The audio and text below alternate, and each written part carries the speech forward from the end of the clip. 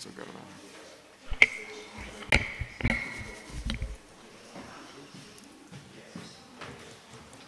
All right, Carl.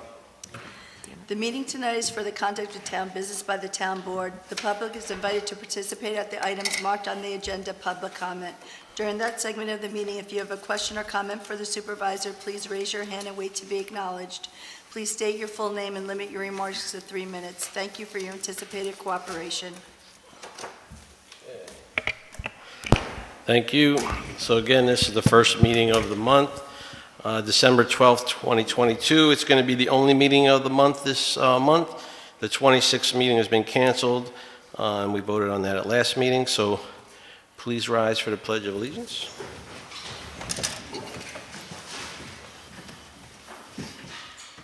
I pledge allegiance to the flag of the United States of America and to the republic for which it stands, one nation, under God, indivisible, with liberty and justice for all. And please remain standing for a moment of silence for all those men and women who gave their lives to give us this opportunity to serve our country, our state, and of course, our town.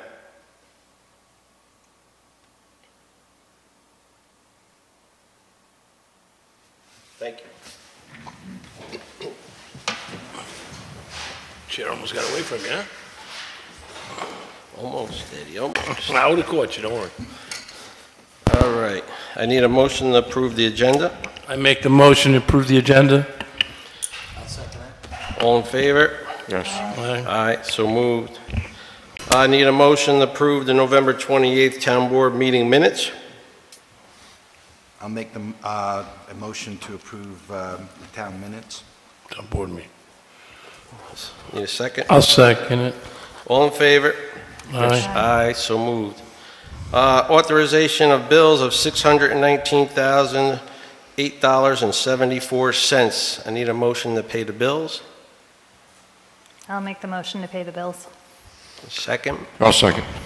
All in favor? Aye. Aye, so moved. Is there any comments on the agenda from anybody? Any comments? Okay, we're going to go on the reports. Okay, supervisor's report. I have a long report, but instead of the report, because this is the year-end report, this is what we've done through the whole year.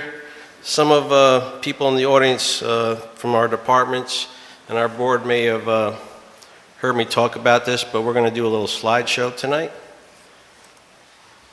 and it's going to show you kind of from the beginning of the year, and then at the end I have some extra stuff, but uh, see if I can make this full screen. It is up there. You have it. hmm From the beginning, right? Yeah, but it was, it was showing full screen for them. Oh, it was? Okay, Yeah. good. All right, good. All right, so this is what, uh, you know, from the beginning of the year, we started off, our big focus obviously was completing the pier and completing uh, and starting Tomback. So they're a big part of it, but. So Tomback, uh, again, our highway department, our water department, um, did a great job renovating and um, uh, demolishing all the work inside of uh, the Tomback building to save us about $300,000 in savings. We brought down uh, Senator Skoufis and Assemblyman Jacobson to show them what their uh, dollars that they gave the town is going to start um, building back up. They were very impressed with what the guys did. Couple pictures of the inside of them ripping out the ceilings. They took down walls. Then we decided we were going to um, increase the size of the building with a 65 by 30 um, addition for the recreational side of the building. Um, This kind of almost doubles the space of the town uh, recreation center. So uh, the guys stepped in again, and they just, and we decided to do this in-house, and we did this foundation in-house. So this is some of the pictures of them putting it together.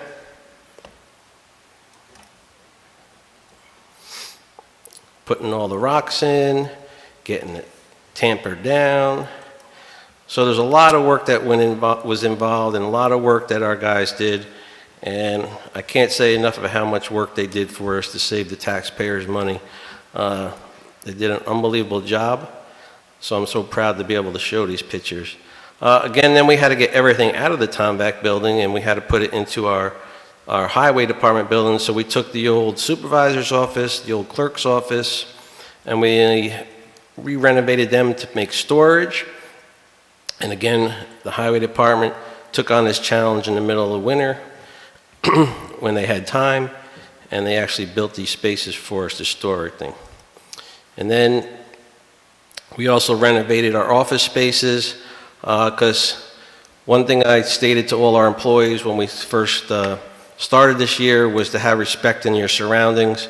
Uh, We're going to have a lot of people come into our offices this year, and I want our offices to look respectful to everybody around. So we did, and they came out great, and I can't tell you, and I want to thank um, Maple Tree Cabinetry for donating all the cabinets to us, and uh, it came out really good. That's one, but the other offices were painted up too. The highway guys put in the floating pier in the beginning of the year. They took it out at the end of the year to put it in back. So they did this in-house again, saving us money. We had our inspections, our weld inspections done at the pier that were never done, um, so we could get our certification and CO. Um, They did finally pass. Um, Our engineer signed off on it, and our building department gave us the CO. So that was good. Uh, One of the fires I attended this year, unfortunately, uh, lost house that was being renovated, and if you all don't know, most of our highway department and our water department guys all work in, uh, for the fire department too. So most of them were on scene, and Gary uh, had to utilize our John Deere to take down the remainder house. So, um, before Bayside started up there, a bunch of us took a tour up to Camp Young, and we were trying to see if there was anything in there we could salvage wood-wise. Uh, Deputy Supervisor Appler wanted to see if there was any posts and beams we could use to build the pavilion up at uh, Sands Avenue Park. Uh, Unfortunately, this wasn't a post in uh, beam building. It was just a conventional construction, so there was nothing much really we could save in this building, but it was a historic building, and it was uh, pretty cool to actually tour and unfortunately, it has been taken down. Uh, This year, we hired our third sergeant. Uh, In talking to our chief of police and the other sergeants, uh, we found that the A line was lacking supervisor um, position, and we believe the sergeant position was something that um, this board thought we should do, and Mike was next in line for the promotion, so he did receive that promotion. Our Recreation Committee stepped it up a notch this year. They had a lot of great events. The first one of the year was the Easter Hunt that we held up at the um, Dome, that the Pisa family donates every year, so thanks to them. Thanks to the Rec Committee. Sands Avenue Park, we finished up and continued the work, putting in water lines and trees and blacktop, and it finally came to look like this. As you can see, the grass was coming in great, and then you could see it started to get to be the 100-degree weather, and it kind of uh, died out. But uh, the Local 17 installed some benching by the dog park this year in memory of Fred Butwell, who was a dog lover who unfortunately passed away this year, and who was a Local 17 operator. So that was nice of them in memory of Fred. Again, Charlie and Dave planned the, the uh, beautification of the Marlboro Hamlet. We started our walkway. The highway guys and the water department, uh, I asked them to make the ball fields a little bigger to get us the dimensions of Young's Park. And we're looking to have uh, tournaments in the future. And so these fields were in really, really rough shape. And once again, they stepped up. We have the equipment, and they, they made them uh, look really, really nice and came out really good. Uh, we had a great, great meeting with Senator Skoufis and his assistant. We actually had a little barbecue that day when he came. Um, he was very impressed with what we've been doing. Unfortunately, we, we lost him to another district this year, but I already talked to Michelle Hinchey. uh, had a one-on-one with her, FaceTime with her, and she will be coming down here uh, probably springtime, and we'll be going over all the projects that we're going to be doing next year with her. Again, these are some of the pictures of the, everybody having a good time that day. And then it's the famous fish floating event in Round Pond. I don't know if anybody noticed this, but we lost, what was it, day 45 carp that day. Uh, they all of a sudden started to pop to the uh, surface. It came to be that the oxygen level in the pond was down to, what was it, Charlie? Like three, something like that? 3%. It should be like 15%, 10%. So the carp being as big as they could, they couldn't breathe and they popped up. And that's why, if you notice, we put in those, uh, it looks like just a water fountain, but it's not really a fountain, it's also an aerator. So we're trying to aerate the water, which will oxygenize the, uh, the water, and hopefully we don't see this happen again. So again, the highway guys got the job to do that.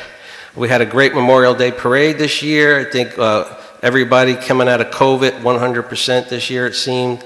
Um, was a lot of participation and a lot of crowds, so we had a great day.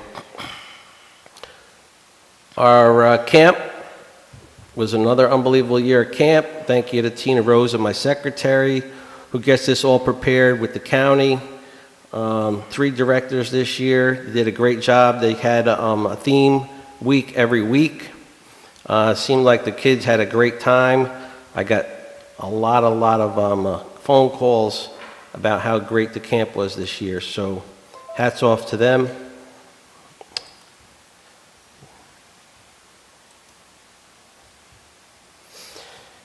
And the concerts in the park this year were a huge success. Uh, the Recreation Committee stepped it up a notch this year.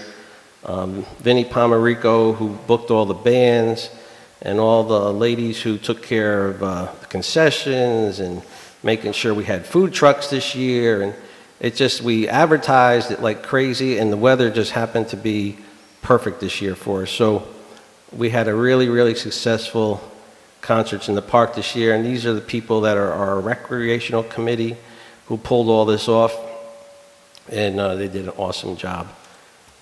And again, they uh, introduced food trucks this year, which I think was a huge success.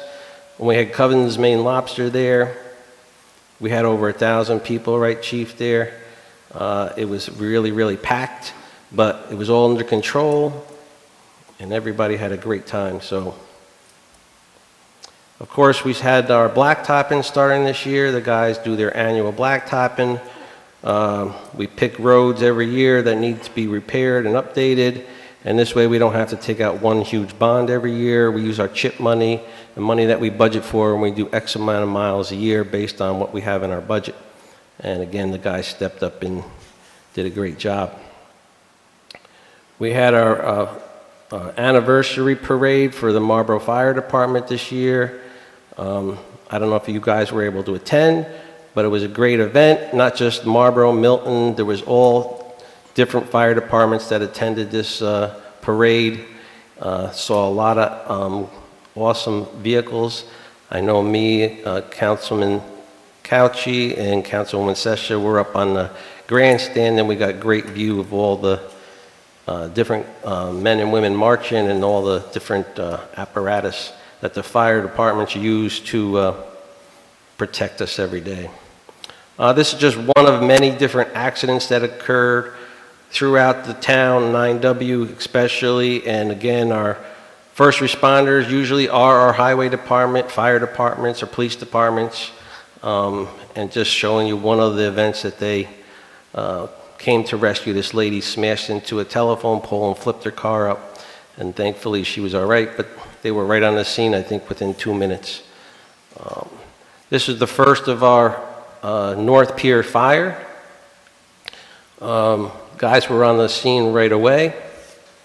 It was a very small fire. Uh, the New Hamburg Fire Rescue came over, uh, sprayed underneath the decking for us to make sure that we didn't have any flames pop back up throughout the night, and they didn't until about two weeks later. Uh, then here's our fountains that we put in. Again, this is for aeration.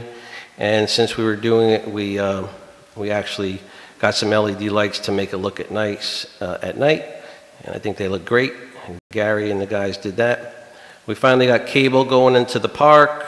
We got uh, Wi-Fi now. We got camera systems, security systems, and thanks to Chief Kokoza, Gary Lazaroff, um, and uh, we took care of this. And we did that in all our parks this year, just so you know. We have cameras in every one of our parks now. Those cameras are fed back to the police station, so we are uh, keeping an eye on our parks. Uh, I'm sure a bunch of you uh, remember this day. We had the main water main break in the hamlet. The whole town pretty much lost water. Uh, was it probably about, what, 20 hours, Charlie? 18 hours, maybe? It was a long day. Um, But these guys got it done. They found where the leak was. Uh, They repaired it, patched it up, filled it back up, blacktop. Um, They did have to go back uh, couple other times for some other little leaks there, but uh, in that, in that one area is uh, a troublesome corner. Uh, This was the second fire at the North Pier, a little bigger than the first pier fire. Um, This is because it was a little more windier that day. Again, our guys actually, the uh, Milton Fire Department got there within, I don't know, Gail, what, probably five minutes? Just because you were coming back on a call. Just happened to be lucky. Um, This one did a lot more significant damage. The Poughkeepsie uh, Fire Rescue came over for uh, this one to help us. Uh, We have our claimant to Travelers Insurance. Um, We did receive, we're probably going to receive for damages about 125, 130,000 dollars in damages. I just received a letter as of yesterday that we will receive the coverage to make it ADA compliant. That means we'll probably get another 125,000 to do that. So that way we could actually put a, um, probably the aluminum plank that we have like on the other pier, and that'll match and it'll be wider and everybody could walk with two people on there. So we'll make it, we'll make it work. So just to give you an idea what the pier used to look like um, prior to the ships coming in, so this is what the landing was looking like. Uh, Cinder blocks coming down the hill, um, all the um, shrubbery that was overgrown, things were left on the ground. Uh, I asked Councilman Zambito if he could help us out. I got some donations of riprap rock. I got some donations from Dame Manisi to haul the rock. And I, I tell you, this is one of the biggest transformations of the year for me. It came out really, really nice, and you'll see it's pretty cool to see the, uh, the transformation. There's Councilman Zambito donating his time. And you could see how nice the landing came out. And the riprap serves two purposes. Um, you know, it looks nice, I believe, and it actually holds back uh, erosion on the waterfront. So I could tell you every ship that came in said they'd never been at a nicer pier. So, and uh, these guys travel all over the country, so you can see Dave did a great job, so thanks, Dave. And Dave's been up 24 hours, so he's a little tired. okay, so then we uh, finally got to start the walkway going down to the train station. Uh, Consorti Brothers had won this bid actually at the end of last year. It took them almost a whole year to actually complete this. Supply chain issues, heat problems, uh, you name it. I got the, I got a lot of excuses on why it wasn't done, but it did actually end up getting done, and it came out uh, pretty nice. So, I mean, there's still some things we got to finish there at, at the park area. I think again along the stream bed, we're going to look at putting some riprap in there for erosion issues and aesthetics. There's trees that we're going to be putting in because we put in for grants uh, for some more uh, trees and shrubbery, clean up around that edge a little. But for this year, it came out pretty good. And the grass finally grew in. Then we had to put in uh, the bumper systems for the ships, being prepared for the ships to come in. We had to remove the floating dock. The guys actually uh, redid the brackets on the dock so we could actually push the floating dock into the pier a little more so that when the boats came in, it wasn't in the way. For some reason, when they designed this originally, it was two feet sticking out off the pier, uh, and we wanted to make sure that the boats uh, didn't hit it, so we had to redo the brackets, and the guys did that in-house.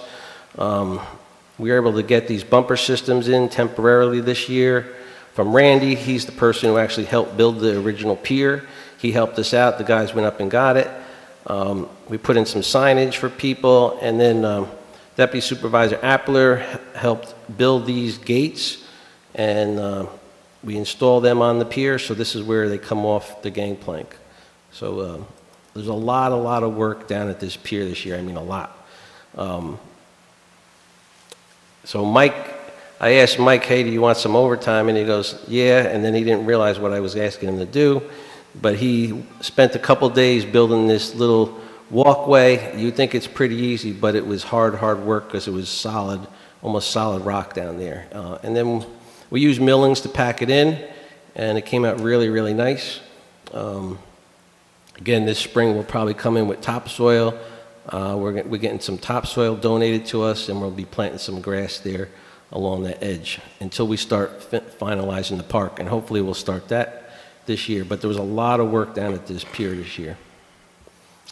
Having said that, Charlie and the water department installed uh, fresh water uh, piping all the way out to the pier. Um, This was paid for by American Cruise Line. It was part of our contract agreement that they would pay for this, and they do, and they actually have a meter on it, and they pay for water when they use it. And this is how long, and it comes all the way out to the pier, and there's a little lockbox here, and that's how the, the captain or the maintenance guy on the ship actually has the key to it, and they can hook up and get their water, and then we bill them for it. And then, of course, this year, we had our ships come in. Uh, Big contract I signed uh, with the permission of the board was with American Cruise Line. And that contract can technically be up to 30 years. Um, In 30 years, if uh, they come through on all their payments, they'll pay paying the town about $1.2 million uh, for our revenue, and that happens to be the actual bond that we have on the pier is $1.2 million. So there's no coincidence there that when I worked out this deal, those were the numbers I was trying to get to, and they actually came through. Now, they could actually even book more bookings here if everything keeps to work out, so that number could even go up. Next year, for 2023, you're going to see the same ships, the same itinerary, because they do these two years in advance, but they are currently finishing up, they're building two brand-new ships just to do these uh, Hudson River tours. So in 2024, you'll see new ships coming up and down the Hudson. Uh, Here was opening ceremony day, the first ship that showed up. So we had a nice little ceremony down there, a lot of people showed up. All the people that helped get this pier and this uh, project to where it is today, everybody was there. So we had a little ribbon cutting ceremony. The captain cut the, the ribbon. This Eric Del So is the, uh, the head of American Cruise Line. He was there, and all our guys were there. Previous board members were there who had a lot to do with this also. So uh, we invited everybody that was involved. Then we got lucky. We were able to go onto the ship and tour the captain's quarters, which I thought was pretty cool. They showed us how it worked. Um, it's pretty, pretty cool. And there's Captain uh, Gary in the seat. So uh, it was pretty cool. Then we had our second uh, ship come in, uh, which is the National Geographic Sea Lion, which is Lindblad uh, Cruises. And again, you know, BJ McDickelson from Meet Me in Marlboro had a lot to do with, especially this one coming in here. Um, these, this ship is more of a, they do a lot more local tours, so we're pushing to get even more local tours. But um, every time they touch our pier, we get a thousand dollars. So uh, you know, it's it's good revenue for us. It helps us maintain the pier, helps us pay off the bonds, so that way we don't have to tax the taxpayers. So we probably charge more than anybody on the Hudson River, But like I told all our employees, that's because we have the nicest pier on the Hudson River. So they pay it, and uh, our guys maintain it. So here's just another picture of them. And then with that ship, um, they have to have somebody come around, unfortunately, and this ship, I just took this picture for fun because this is the ship that takes out all the wastewater and stuff from their ship. But uh, Randy actually does that, again, the, the gentleman that helped build the pier. So there they are getting water. Uh, also this year, the, we finally repaved the park. Uh, the park had a lot of potholes, a lot of uh, rip-ups. Uh, uh, it was in really bad shape, so um, the highway department came in with um, uh, our normal blacktopping crew, and they did a great job here. So we did a significant amount of work here, uh, and they did this all in um, about three days or so, but it came out really good. Something that was needed. We had our uh, annual community day held by the PBA. They hosted for us. Um, got a lot of volunteers from the PBA, the fire department, our town employees, our our uh, town board. We have the sheriff's department come down. We have all kinds of great things going on. Uh, our highway department shows off all their equipment. They stayed there the whole time. Uh, we have really nice equipment, and we show it off and show the taxpayers what they pay for. Our guys keep their equipment in great shape, so that way when we do sell it and get rid of it, we do get top dollar for our, our machines. Uh, a lot of employees helping out, cooking, handing out uh, information about building and assessment and all different things. So this is a way for us to celebrate ourselves and show our uh, citizens what we do, but also for our citizens to come down and ask questions of us if they, if they need to. Uh, Frank Milazzo was able to get the helicopter down here for us, and Jerry was having fun over there. I pulled him out of the cockpit for a minute to grab a picture. So, and of course, Kurt is our DARE officer. Uh, he does a great job. He was there uh, talking about DARE and all the things that it does. Our fire department was there. Um, so again, everybody participated in Community Day. It was a great event. There's, you know, everything's free to the public: popcorn, cotton candy, hamburgers, hot dogs, the slides, the bouncy houses, all donated. Uh, this was the day I actually signed the contract to start the uh, town community recreation center at Tomback. So we did uh, take some pictures of this because I, me, this is a huge moment um, for this town. This this has been sitting about 15 years. Uh, so that was the day we signed the contracts, and then this was the day we started building. So if you go by now, you'll see that the roof's on. Starting to build the other dormer. Again, it's coming along pretty good. The weather's hitting us now, so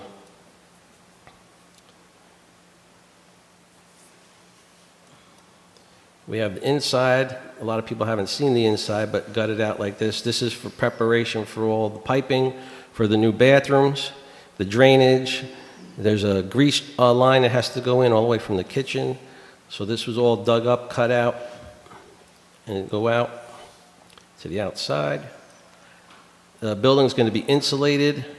Uh, Never, it was just basically the brick building, but new codes state that it has to have an R value of a higher value, so it's got to be framed out and insulated, which they're doing. Putting a little eave over the, each edge, the north and the south edge.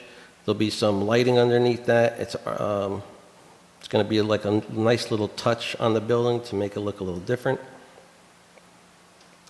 This day I got to go up in the little um, uh, machine up onto the roof. We had to uh, inspect the roof because they wanted us to replace the entire roof sheathing. We didn't believe it needed to. And I had Deputy Supervisor Appler come up with me uh, and Gary Lazaroff and our engineer. And as we thought, certain sheets needed to be replaced, but not all of them. So this way we're not uh, spending an extra $20,000 on sheathing, and we got to check out the cupola on the top.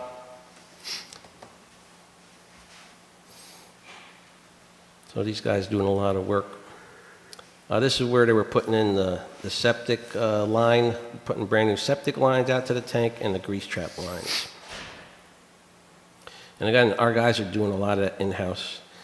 This is when they were putting the trusses on that day.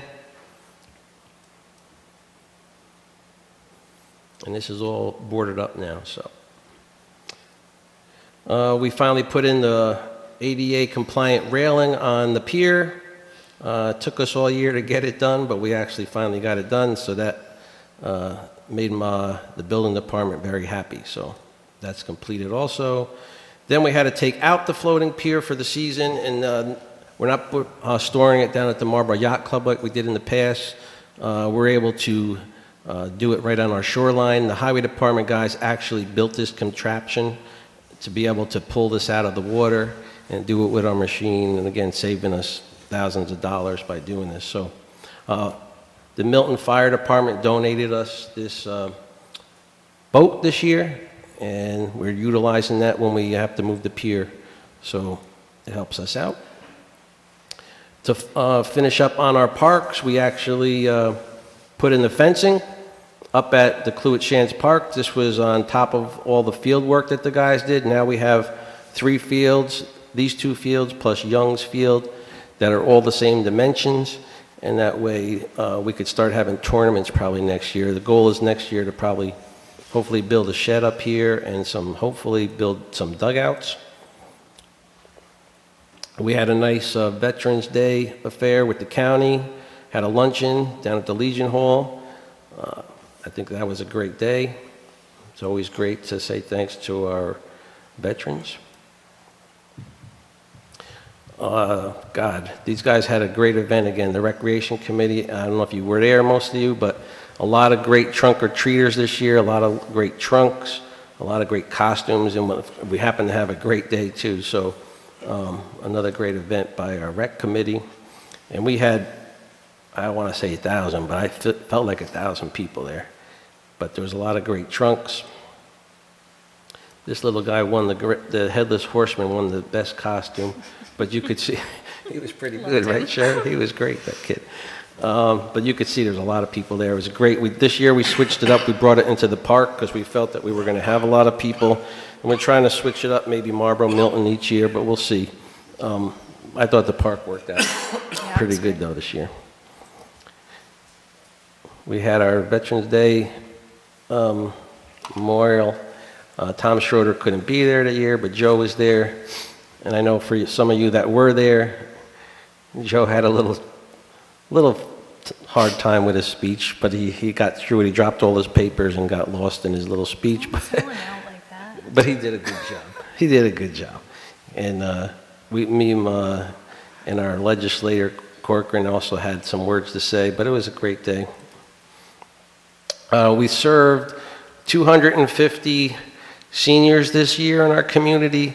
Uh, we did this jointly with the Lions Club. Uh, we sponsored it um, through our um, uh, recreational side, and they pretty much put it all together for us, and we helped serve it. But um, seniors were very appreciative, and you know some of these seniors unfortunately don't have a Thanksgiving, so for some of them this was their Thanksgiving. So it was a great event.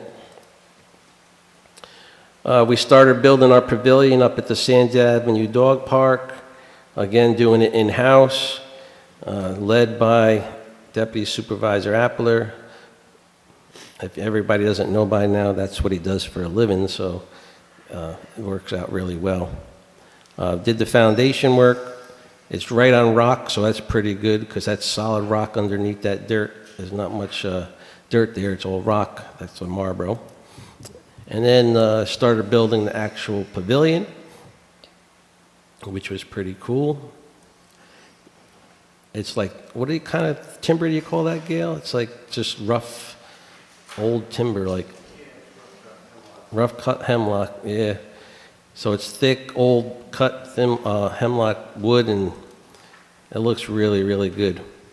Uh, again, the highway department's made this jig thing to be able to pick up these, uh, you know, I call them like, uh, what do you call those things? Trusses that we kind of built on the ground. And uh, again, they, they can make anything out of anything, these guys. These guys got me up there screwing in nails, and it was pretty good day. And then Gail came back the next day, and underneath there is going to be all, it's all tongue and groove pine underneath. Then he put the sheathing on top, and then we're going to put a metal roof on top of that. But when you look from underneath, it'll all look like uh, pine, so it looks really, really nice. Um, It fits, it fits us, it fits the town, it fits the park. Then I asked the guys, hey, can you guys dig a hole for me up at Tomback, because we got to put this big grease trap in. And I was like, how hard can it be to dig a hole? Well, of course, what are we hitting Marlboro? Solid rock. So something that should have took like maybe an hour and a half took about eight to nine hours. And we actually went six feet down of solid rock. Thank God we have the equipment in the house, and these guys did it, but you can't just dig a simple hole in Marlboro. Uh, then we were able to do our, my favorite thing of the year. We actually went out and got our three Christmas trees for the town at Split Rail Nursery, the Manor Family Farms. Uh, they donate um, half of the, uh, one of the trees, and we get the other two. So they do donate. They used to donate them all, but we understand with uh, inflation and everything going on, and they have a business. So, but they do donate and uh, we were able to get it. Every year we go up with the highway department, and Harry cuts down the tree. He's a professional tree cutter, does a great job. You can see we get, oh, by that, you see we get the trees that are like 25 feet tall, but the bottoms are all, but actually they're probably some of the best trees, so it works out good. Um, and then we put them at all our different spots. And then the Recreation Committee, along with the Milton Hamlet Association, had the first tree lighting. Um, that was down in Milton, a couple, uh, what is it, a week ago? now? About a week ago now. Um, it was a great event. Santa Claus came, the Milton Firehouse came, Vivian did a great job with her snow machine. Kids had a good time. And then following that event, we had our second ceremony, which was the blue light ceremony uh, put on by Officer Fulton. And this is to thank all our officers, but especially those that have fallen in the line of duty. And this year, 207 of those officers passed away or um, were killed in the line of duty. So if you're out in the foyer, when you leave today, you'll see the white tree with the blue lights on it, and on there, there's 207 ornaments representing each one of those men or women that died this year in the line of service. So great job by Kurt, as always. And then in the middle, these were the three trees. We have another one down at our highway department that they decorated. So kind of that's some of the stuff we did this year. Some other things we did also, we did multiple updates of our code. We updated our definition of the bed and breakfast and short-term rental. We did multiple changes to section 155 zoning, updated our employee handbook, updated our emergency management plan. This year met with every single first responder, fire department person, chiefs, highway department, police department, county, and we updated this plan. Uh, We hired a new EMS ambulance provider, 24/7 service for ALS coverage. I noticed it was a big change for our town, and I commend the board for sticking through this and doing all the hard work of um, going through this. And again, we didn't just do this blindly. We got a lot of um, feedback from our first responders that actually are the ones who brought this to our attention to do this. Um, and we had multiple meetings with them, our county representatives, and we did sign that contract last week. So on January 1st at 12 a.m., we will have a new ambulance provider, 24/7, which people don't realize we only had 15 hours of coverage prior. And the other eight hour, um, nine hours, right, were covered by Highland or Newburgh had to come in. So we had 30, 35 minute waits. So hopefully that's not the case anymore. Again, we hired the new police sergeant. Uh, we worked very hard with the Bayside developers this year, Baxter and Rieger, so they could start their building of their 104 condo development, the Hamlet of Mil, uh, it's the Hamlet of Marlboro, not Mar, Milton. Um, and you guys see that project going on by the uh, middle school. But uh, originally, those, they wanted a pilot agreement. Uh, Me and the uh, school superintendent met three times with them to push back on this, and uh, they finally understood that they weren't going to get our support, and they need our support in order to do that. And we worked with them on their assessments and, and different things, and uh, they were able to start this project. So, um, work with the Layton Properties to help close the deal on the dockside development. So this is the um, development, they're going to build 100 townhouses uh, off of Dock Road in the hamlet of Marlboro. Again, this person came into this town on a wine tour. He fell in love with this town. He went down next week to Mr. DeMarco and said, where can I buy some property? And next week, he was in negotiations to buy this property. So he feels like we are a diamond in the rough that no one knows about, and he wants to get in before everybody starts finding out about us. So uh, he's going to be building 100 townhouses. And I just did finalize a reservation agreement that in the beginning of next year, our board is going to have the opportunity to vote on with them that they're going to be giving us $609,000 towards our sewer district upgrade. Um, That's double what the Bayside project's given us, so that's extremely, um, extremely good for us. So they're going to need a 35,000 gallons per day reservation capacity. We're going to expand our sewer plant for 50,000, so we're going to have extra space. We confirmed in commitment of the Youngs Field to be donated to the, to the town. Again, we installed, safety cameras throughout all our parks. We've made extremely great progress with the CSX uh, Railroad Company and moving forward on building our crossing. We're right there.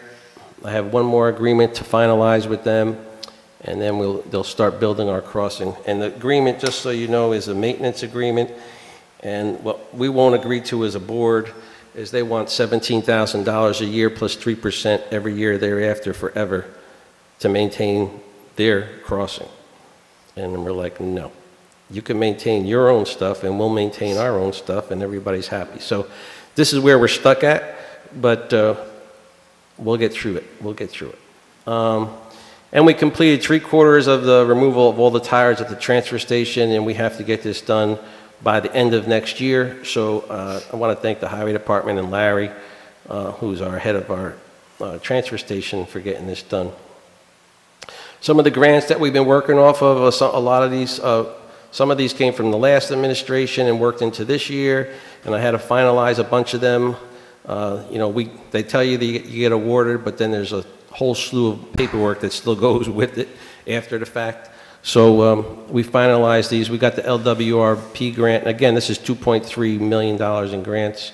It was 560,000. We got the Tomback uh, Assemblyman grants, and these were from uh, Senator Skoufis, Senator Jacobson, and of course, Assemblyman Frank Skartados, who passed away, um, but he's still giving to our town, right? So we got $800,000 toward Tomback. The Milton Landing Pier, this was the one, this took a long time, but we finally got this check for $313,000 in September. Uh, The train station parkway, uh, station park walkway grant we got from the Historic Preservation Grant was $24,549. That's towards the walkway. Cultural Resource Survey, Historic Properties, this was Phase Two, we got $10,000 for that. Ulster County Recovery and Resilience Municipal Sewer and Water Grant. So I'm going to read that tonight, but I want to thank, um, you know, the county and of course Tom Corcoran, who uh, brought this to our attention for me to apply for this, and we got $500,000 towards our sewer plant um, from the county. So again, with the 609,000 we're getting from Dockside and the 500,000 we're getting for this, and the monies we have ourselves, there's not going to be any money that the taxpayer has to pay to upgrade this sewer plant. So thank you, Tom. Uh, The adaptive kayak launch, so we haven't got this put in yet, but we've met a bunch of times down there. We've got designs, uh, and this was a $40,000 grant to do this. Uh, along the 9W corridor grant was 35, uh, planting, I should say, and these were the trees that you see planted, and Dave hel- uh, put all those trees in for us, and that was a $3,500 grant. And the Milton Landing Park, Sands Avenue, ecological restoration grant we put in for $67,050, and that's going to upgrade um, uh, down at the Milton Pier Park and also at the Sands Avenue Park. For 2023, what do we look forward to? We're going to complete our community recreation center, we're going to expand our sewer plant, we're going to hopefully complete our crossing, we're going to install ADA compliant kayak launch, install permanent bumper system on the south piers, we're going to install a pavement block in the parking lot at the train station, we're going to install new lighting at the Milton and- and uh, Landing Park Pier, we're going to install new trees and landscape Sands Avenue Park and the train station park, we're going to have a Nexamp is going to build a 2.0 megawatt solar farm at our transfer station. We're going to complete walking path around the Sands Avenue Park, complete all remaining work at the Milton Landing Park, fencing, landscaping, ADA walkway, blacktop parking, lighting, sidewalks, all that goes into that. We're going to rebuild our north pier and make it ADA compliant. We're going to build storage shed at the dugouts at the baseball fields at the park. We're going to work on a plan to to fund the lighting install at Young Park and our town baseball fields. We want to uh, have lights for this so we could actually, again, when we do these um, tournaments, that we can actually do them at night if we need to. Um, Renovate, the, don- uh, we're going to renovate the donated three-bay garage at Sands Avenue Park, and that was donated by the King family. Uh, We're in the works of uh, getting that all completed, but we want to thank them uh, work on a plan and funding to build the bathrooms at the Milton Sewer Plant. So we want to have permanent bathrooms off that sewer plant, so when the people come off the ships and people are down there, they actually have a bath, public bathroom they could use. Right now, we've been renting outhouses, uh, which isn't too nice. And our big one that we're going to start working on is work on a plan for renovating 1650, our highway department building. Um, We already, the board already approved engineering to start on this, and they already have started on this. Um, Again, if people don't realize it, when you ask senators and assemblymen and different people for money, you got to have a plan ready to go. If you don't have a plan ready to go, you're not going to get the money. So this board is smart enough to realize that, and we approved money to get engineering done, and we're going to get uh, some plans ready in, uh, as soon as I meet Michelle Hinchey, I hope to have them right in her hand. So I'm going to hope to get some money from her. And Senator Jacob, um, Assemblyman Jacobson already said he would definitely help out once we get the plan. And then we'll talk to whoever else we could get money from. But we're going to try to do this without expending too much money of the taxpayers' dollars.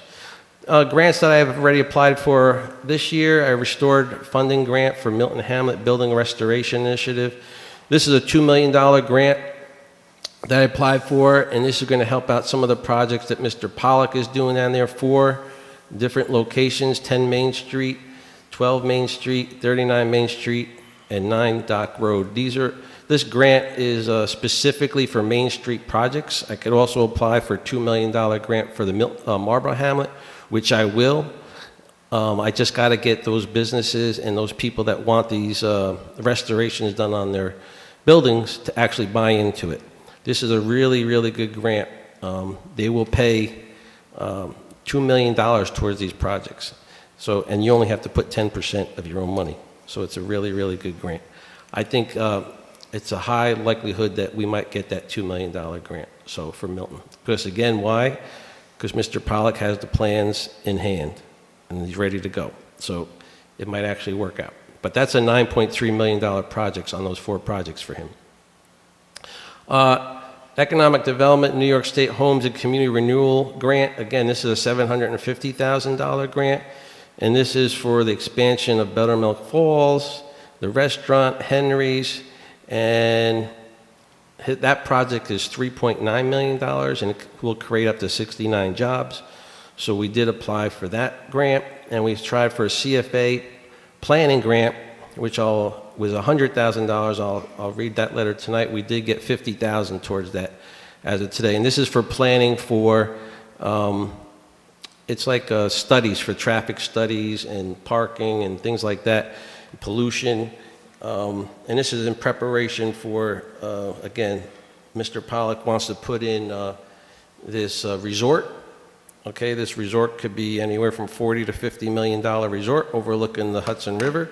He's got 85 acres now along the Hudson River, and he's looking to put this resort in. So um, have what you say about Mr. Pollock, but he's invested in our town. So if there's grants out there that we could help him continue and complete these projects, we're going to apply for them. So, and again, if anybody in the Marlboro Hamlet, uh, we could get on board, we're going to apply for another $2 million grant. So any grant that's out there, we're looking. We're looking and we'll apply. So I just want to say thank you to all our heads of department, all our employees, my board. I couldn't have asked for a better year for my first year to be supervisor. It's great to have people that you work with that actually have the same vision and work ethic as you. And I think we're doing some great work. So I just want to thank everybody. So that's a long-winded end of the year report. And uh, it'll be online, and also we have just the written version online of all the different projects too, so. All right.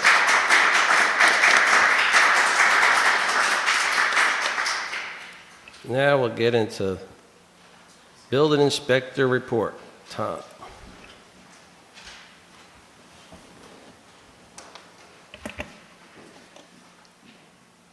All right, you got my slideshow there?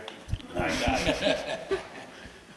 Monthly end report, November 22, Building Department. Certificate of occupancy, 2. Request for information, 8. Building extensions, 11. Fire inspections, 9. Stop work orders, 1. Order to remedy, 6. Complaints, 23. Burn permits, 15.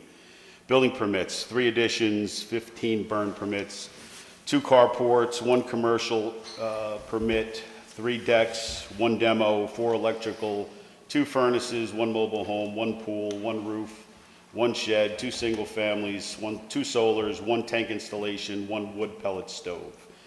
Total permits 41, estimated cost of building $2,428,395. Monthly income, certificate certificate of occupancy 300, permit extensions 2905, building permits 11,464.70, request for information 1,600, uh, for total uh, fees for the month $16,269.70. Total gas usage 91 gallons, total miles 1451. Any questions for Tom? No? You got one, man? You had a stop work order. Wh- May I ask, what was that for? The the property on 9W, as you head north on the left side, all the excavation they've done there. Okay, Thank you. You're welcome. Yeah, he pushed it too much. Yep, he pushed it a little too far. Yep. Not only did I put a stop work order on him, but uh, Central Hudson also contacted me because he, uh, he worked too much in there right away. They were right away back there on those electric lines. So Central Hudson and I have been working together this past month on shutting them down. Yeah, boy. You don't want to get on their bad side.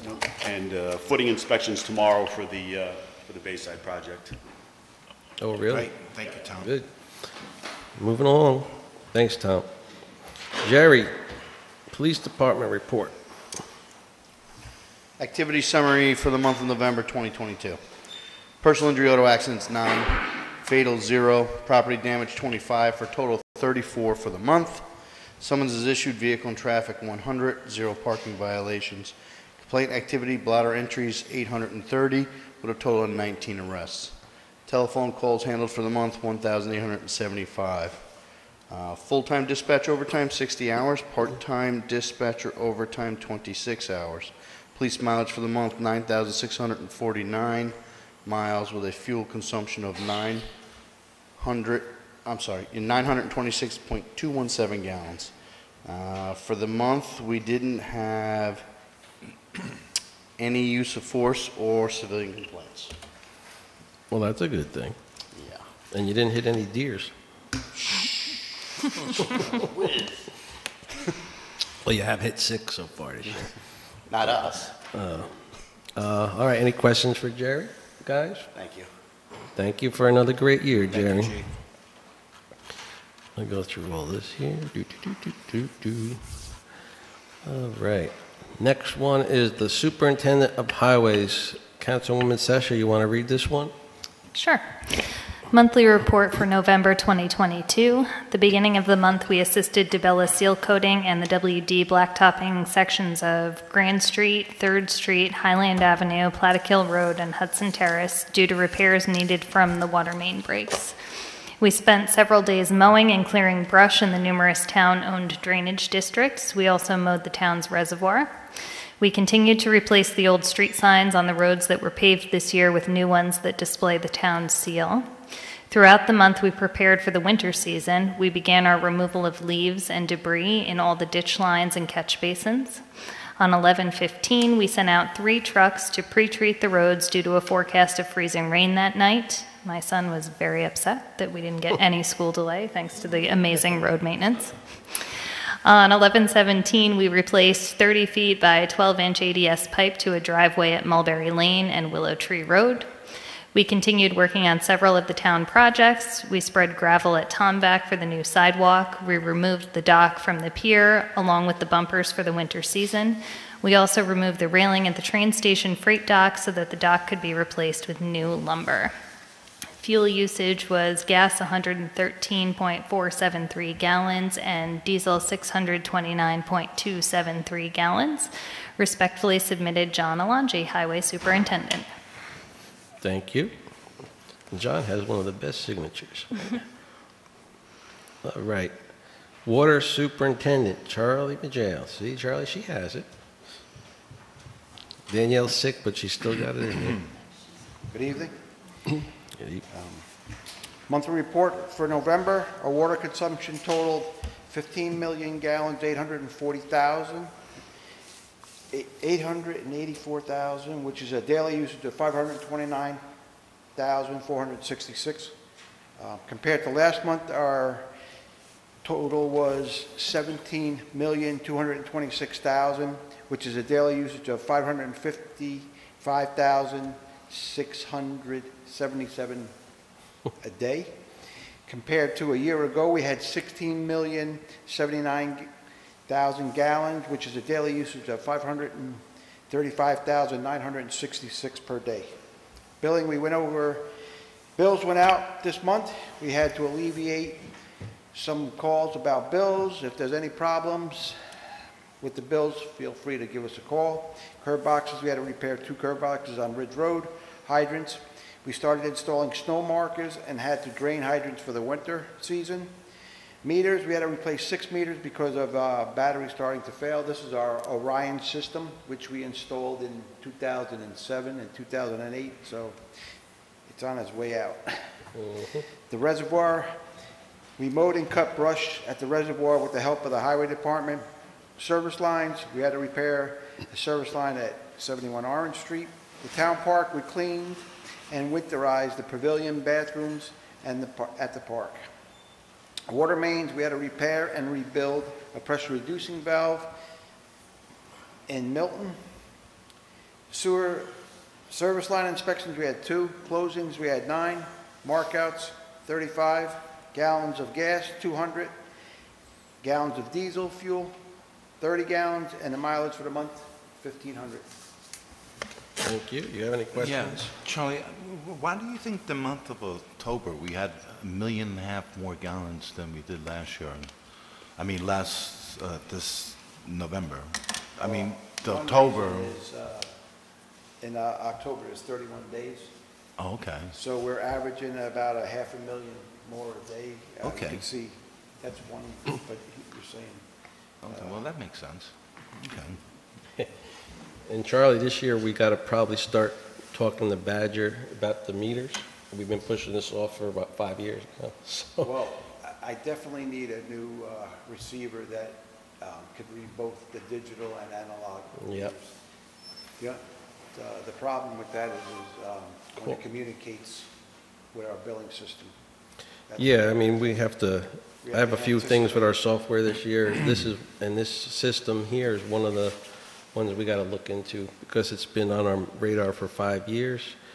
uh, But it's getting really old and it's out of date and I think uh, they're not supporting it anymore after this year. No. So uh, we're going to have to look into a new system. Thank you. But thank you. Thanks, Charlie. Thank you, John. Town Clerk's Office?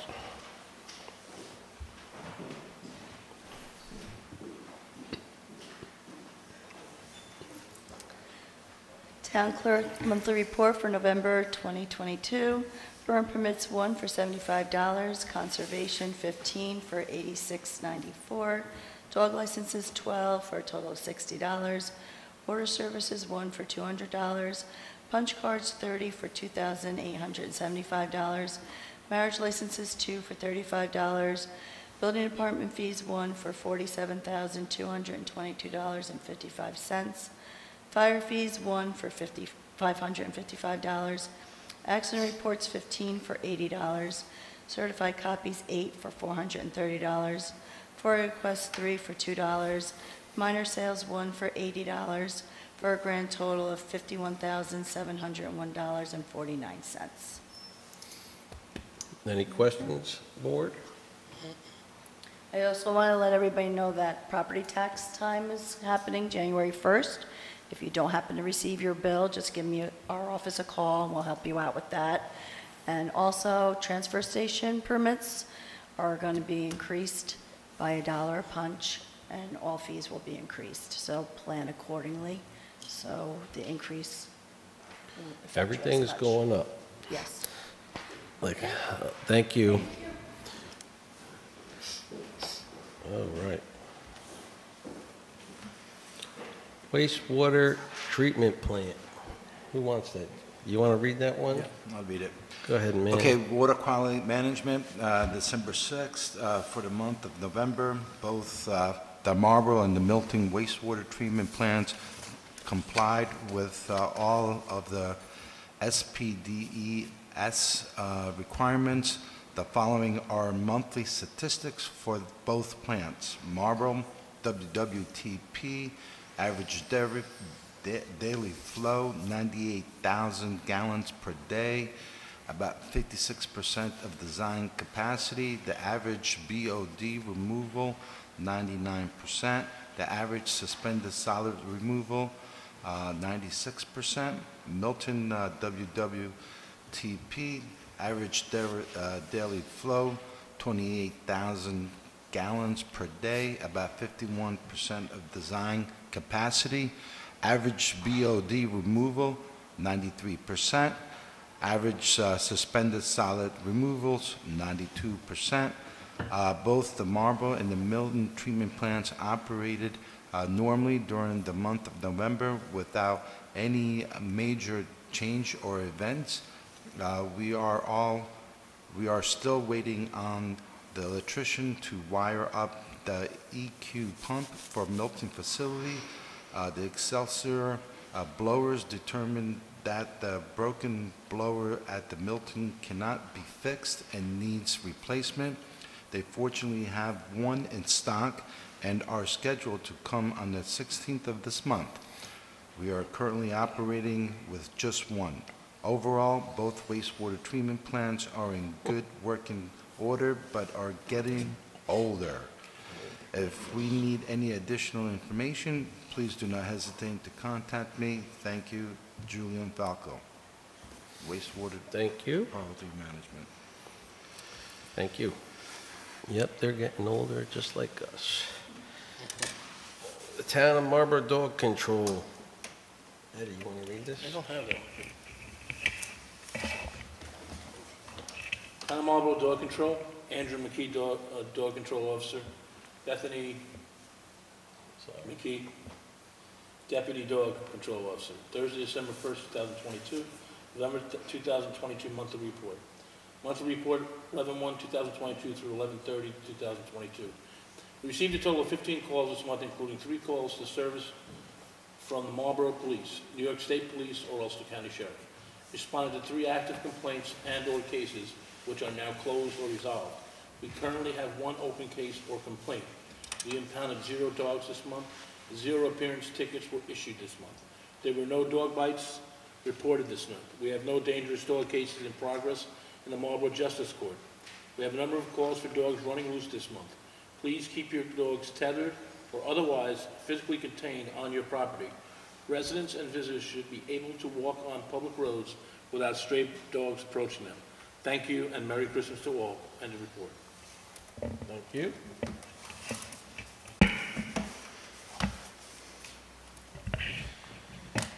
All right, Planning Board. We didn't get one from the assessor. I don't think. Nope. We did not, Eddie, mark it down. No, it's marked. Uh, November 22nd, application fees, $3,600. November uh, escrow fees, $5,173.33. Uh, Recreation fees, zero. Uh, October, November invoices, $9,461.52. Meeting November 7th uh, was canceled. Next deadline was Friday, November 11th. Next scheduled meeting was Monday, November 21st, 2022. The meeting on November 21st, 2022, attendees were Steve Clark, Cindy Lanzetta, James Garofalo, Steve Jennison, Joe LaFaro, Bob Tronsolito.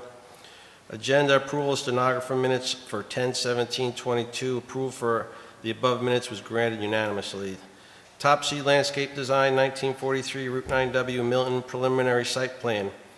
At uh, the September, uh, the uh, 17th of October 22 Planning Board meeting, the applicant was requested to provide an updated narrative and clarify the use consistent with uses allowed in the HD zoning district. The project was previously approved and is back for reapproval as the approvals have lapsed.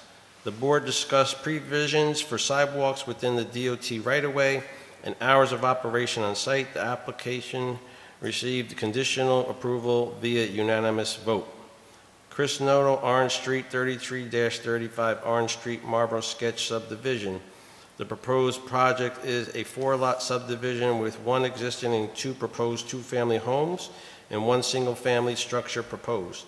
Review of the short EAF by engineering Pat Hines identifies the project area as containing national or state registered historic place as well as potential uh, archaeological site. The board should vote unanimously to declare the intent for lead agency and submit the project to the New York State Office of Park and Recreation Historic Preservation. The board also discussed the grading plan prepared for the site as well as lot ownership. The proposed project will require a stormwater pollution prevention plan and coverage under the New York State DEC Stormwater SPE DES permit. Engineer Pat Hines also recommended the bulk table be revisited with actual setbacks rather than greater than symbols. The highway superintendent's comments on driveway locations should be received. Details for the connections to the water and sewer should be provided at future plans. Uh, The board also discussed the sidewalks as recommended by the Safe Routes to School documentation. A public hearing for the project was scheduled for December 19th, 2022's meeting. Zirinsky East Side, 191 Ridge Road, Marlboro Sketch subdivision. The project is, is proposed a three-lot subdivision and a lot combination. The applicant requested a waiver of the surveying of the 21.7 plus or minus parcel A, which the board unanimously agreed to. Engineer Pat Hines recommended that the labeling of the parcel A be relocated on the plan to identify within the existing boundaries of parcel A.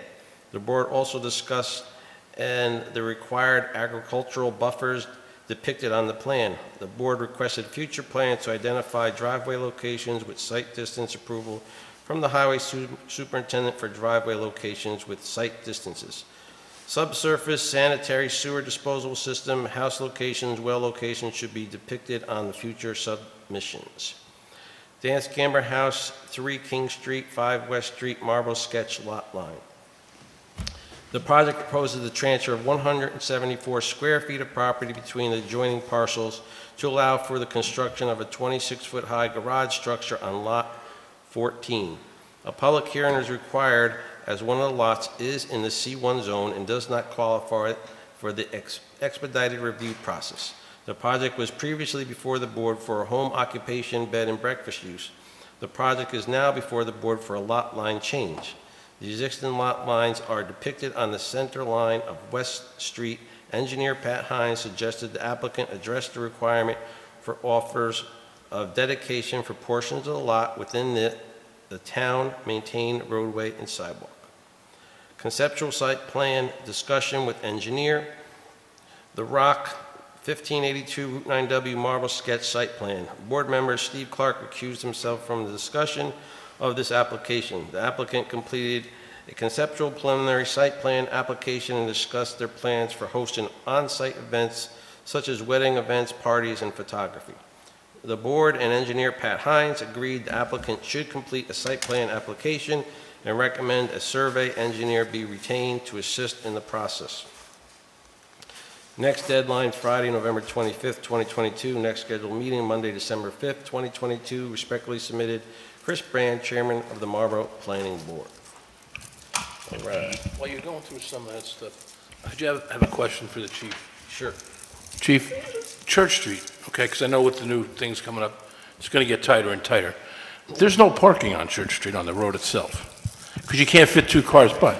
And, and there's 10 cars when I go home every night, and I got to swerve in, if someone's coming the other way, there's going to be an accident. I mean, it's just going to happen.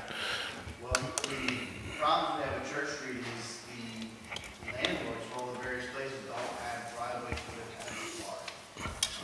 We can start doing something about it. I mean, the driveways they're not using, too. Oh, I agree. I don't disagree. They're all clogged with whatever. Right. I agree, and that's what we told them. Um, But absolutely, we would address it. Well, the biggest thing is, I'm concerned with the projects going down at the bottom of the hill there, and people park right along that all the time. Now, once those houses are there, they're not going to be able to park there, that's going to cause a further problem. And, and, and I just see it every day when I would go home. If you don't go behind a car and then wait till the other guy goes past, you- you're not going to get up the road.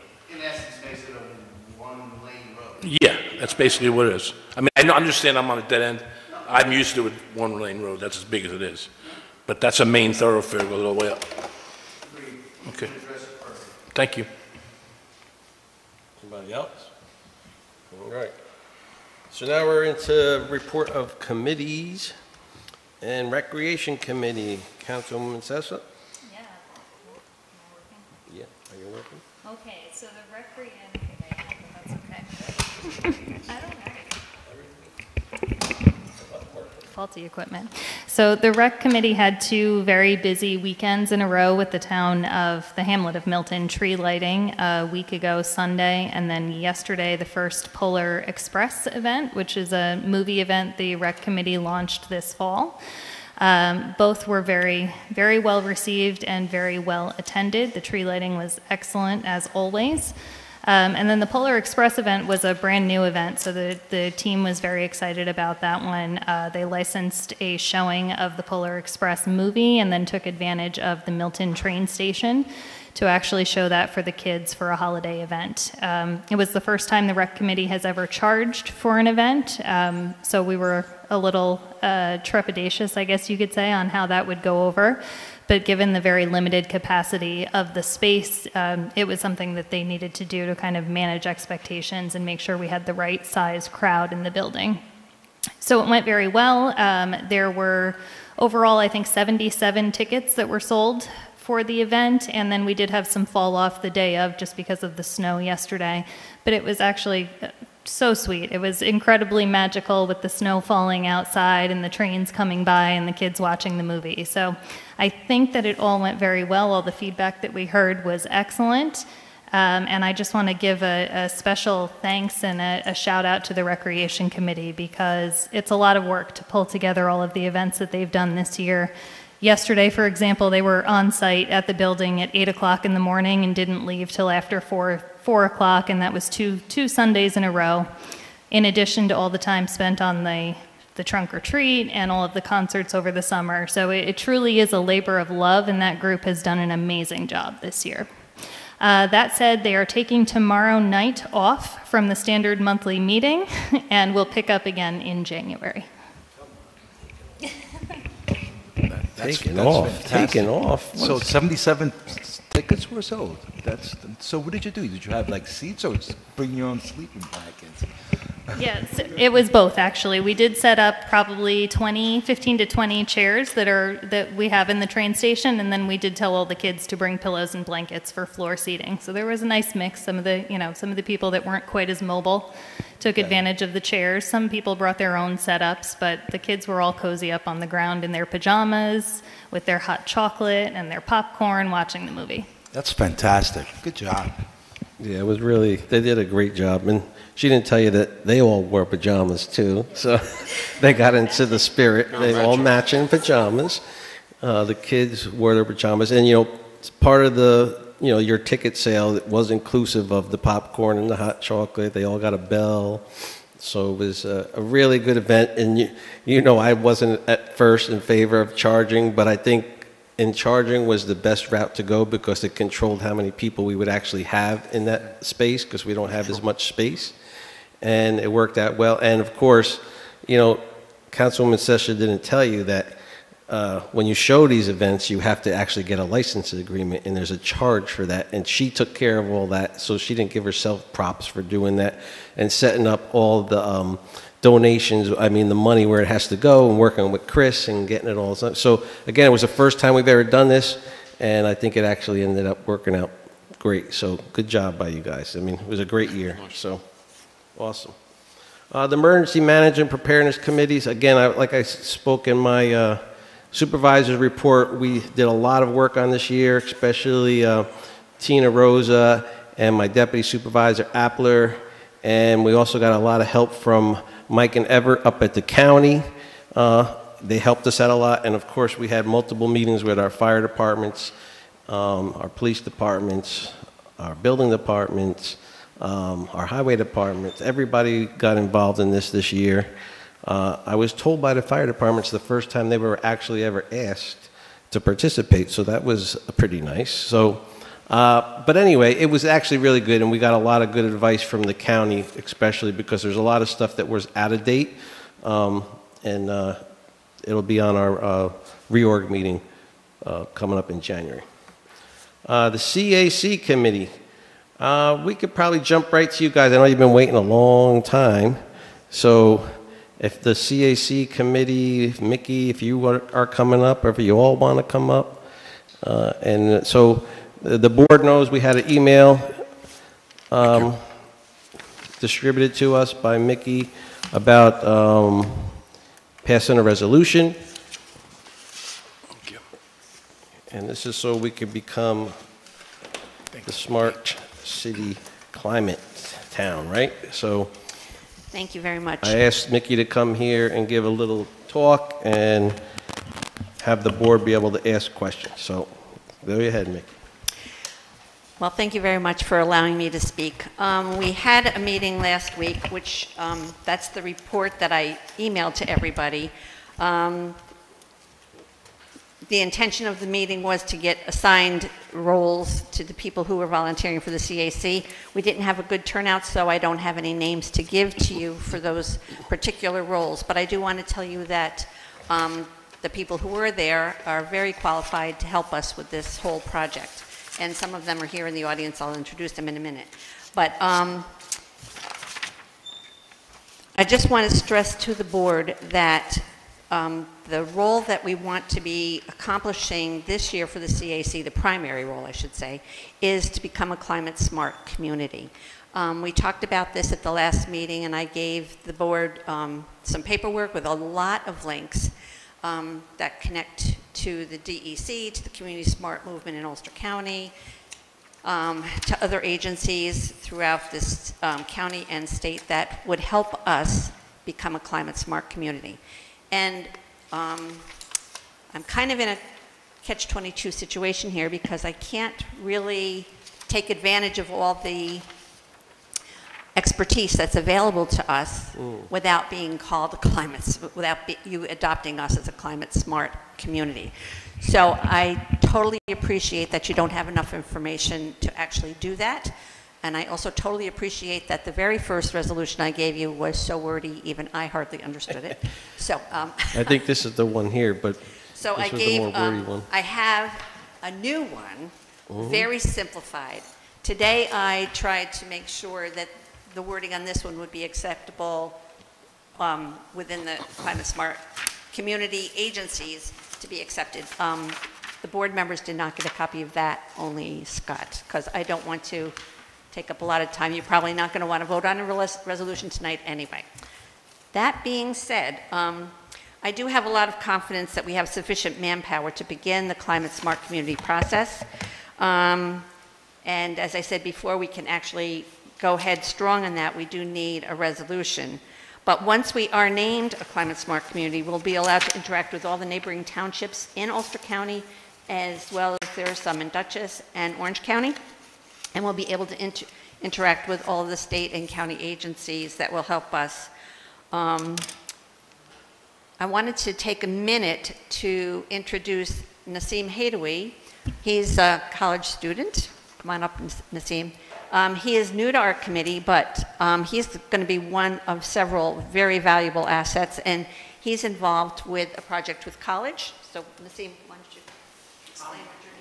I will be doing an internship where I'll be collaborating with neighboring towns, excuse me, um, such as Gardiner and New Paltz to attend all of their uh, Conservation Advisory Committee meetings as well as their CSC meetings.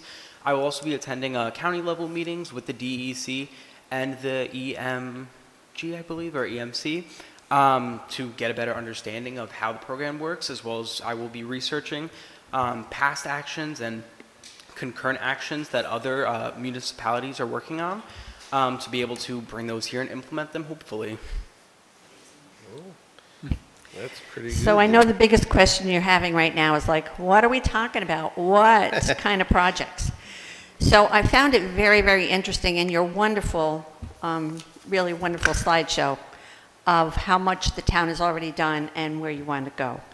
Um, I noticed in particular that having the infrastructure, first of all, having the properties available to us, was the beginning of all of these projects that you have been bringing to completion, and it's so wonderful. Um, and I also see how much infrastructure you actually need to continue to get grants, et cetera, et cetera. So one of the very, very real um, goals of, of a climate smart community is to help lay the infrastructure for the grant opportunities that you're trying to get. Um, I thought that all of the grants that you want, that you are applying for could certainly use some of the expertise that's available through the climate smart communities, that we could be actually working with the board on your behalf, with your cooperation and with your representatives to help Mr. Pollock get his grants, um, to help the town get information about the sewer expansions, about any kind of um, zoning changes that you might find would actually be helping you to comply with some of the other things that the state grants are expecting of you. Um, the way I did word the new, the new um, proposed resolution, uh, I just want to read this quickly so that you understand. Whereas the town of Marlborough recognizes the advantages of cooperating as well as collaborating with county and state offices and agencies as a way to improve services to the citizens of Marlborough, ease the increased cost of energy used throughout town facilities, and improve the quality of life for our workers and residents. And whereas participation as a climate smart community will allow the town to access those services that are available. And whereas it is understood that participation as a climate smart community has a potential of new grant opportunities to the town, and whereas partici- participation as a climate smart community is voluntary and can be pursued, postponed, or discontinued according to the wishes of the board and the degrees of success that you witness. So it's a much simplified resolution. I don't expect you to be voting on that tonight, but I want you to understand that I'm very much aware of you need to know what you're getting into. That being said, um, I would ask Janelle Kazarek perhaps to come up because uh, she is much more in tune with um, the environmental issues as well as already having gone to a couple of climate smart community meetings. And I heard, I watched her taking copious notes as to what we could be doing. I believe that's what she was doing anyway. Um, there are so many things that the town has already talked about that we could be helping. So maybe Janelle has something to add about that. Um, So I'm Janelle Kazarek. I am very new to Marlboro. Um, I've met Scott once and Rita. Nice, nice to see you all again. Uh, So I moved in June of this year, so I have to say that that was, this is a perfect board meeting to come to to see everything that's happening and also what I am going to be doing for the rest of the- the coming year. Um, Also, I've been to the dog park just two weeks ago because I have a new foster dog. Um, and I have been to uh, the walkway now down that was just built and the pier and the dock, and it's incredible. So I'm really happy to be here as a resident. Um, So the climate smart communities, these are the resolutions that are mandated in order for the, the town to, to decide we want to become a climate smart community. So there is, um, in the state of New York, there's currently 368 towns that are registered as a climate smart community. Uh, 100 of them are actually certified. So there's a lot of towns within the state of New York that are working on this, um, these initiatives, and the initiatives are different for each town based on what makes sense for their own town. Um, there's a lot of areas that we could look to um, in climate smart initiatives that makes sense for us or that we're already doing. Um, another point to know is past work could be filed for um, certification or for points towards certification. So it's not just ongoing product projects, it's past work that's been done. Um, of the communities, like I said, 100 are certified, so 268 are in process. And there are like about 3,300 projects that are ongoing with communities in the state of New York. In Ulster County, there's seven communities that are registered. Um, Six of them are bronze certified and one are silver. So our neighbors in Ulster County are very, um, very effective. So we have some good people to look to for advice, guidance, and projects that they've done where they have wins, where they have failures, so we don't repeat the same mistakes. Um, The solar uh, panel initiative is a huge one that is, I believe, that like minutes from being up and running, right? Uh, s- It should have been on today's agenda to pass some stuff, but legal reasons they're Got it. not.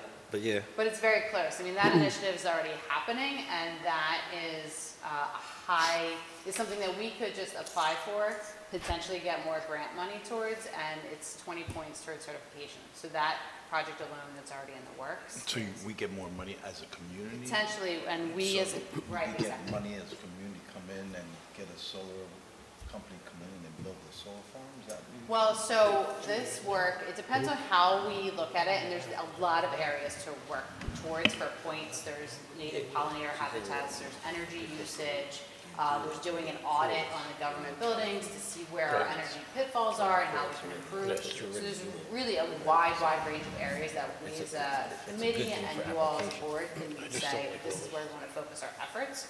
Um, But that project in particular that's already happened with this, with the solar array is something that we could put in for uh, points towards our certification and then, and then use that to receive further grant money going forward, whether that's for a new project or that's grant money for a project that's existing, that the- work has already been done. So further grant money for that, maybe for maintenance or uh, to, to expand the project.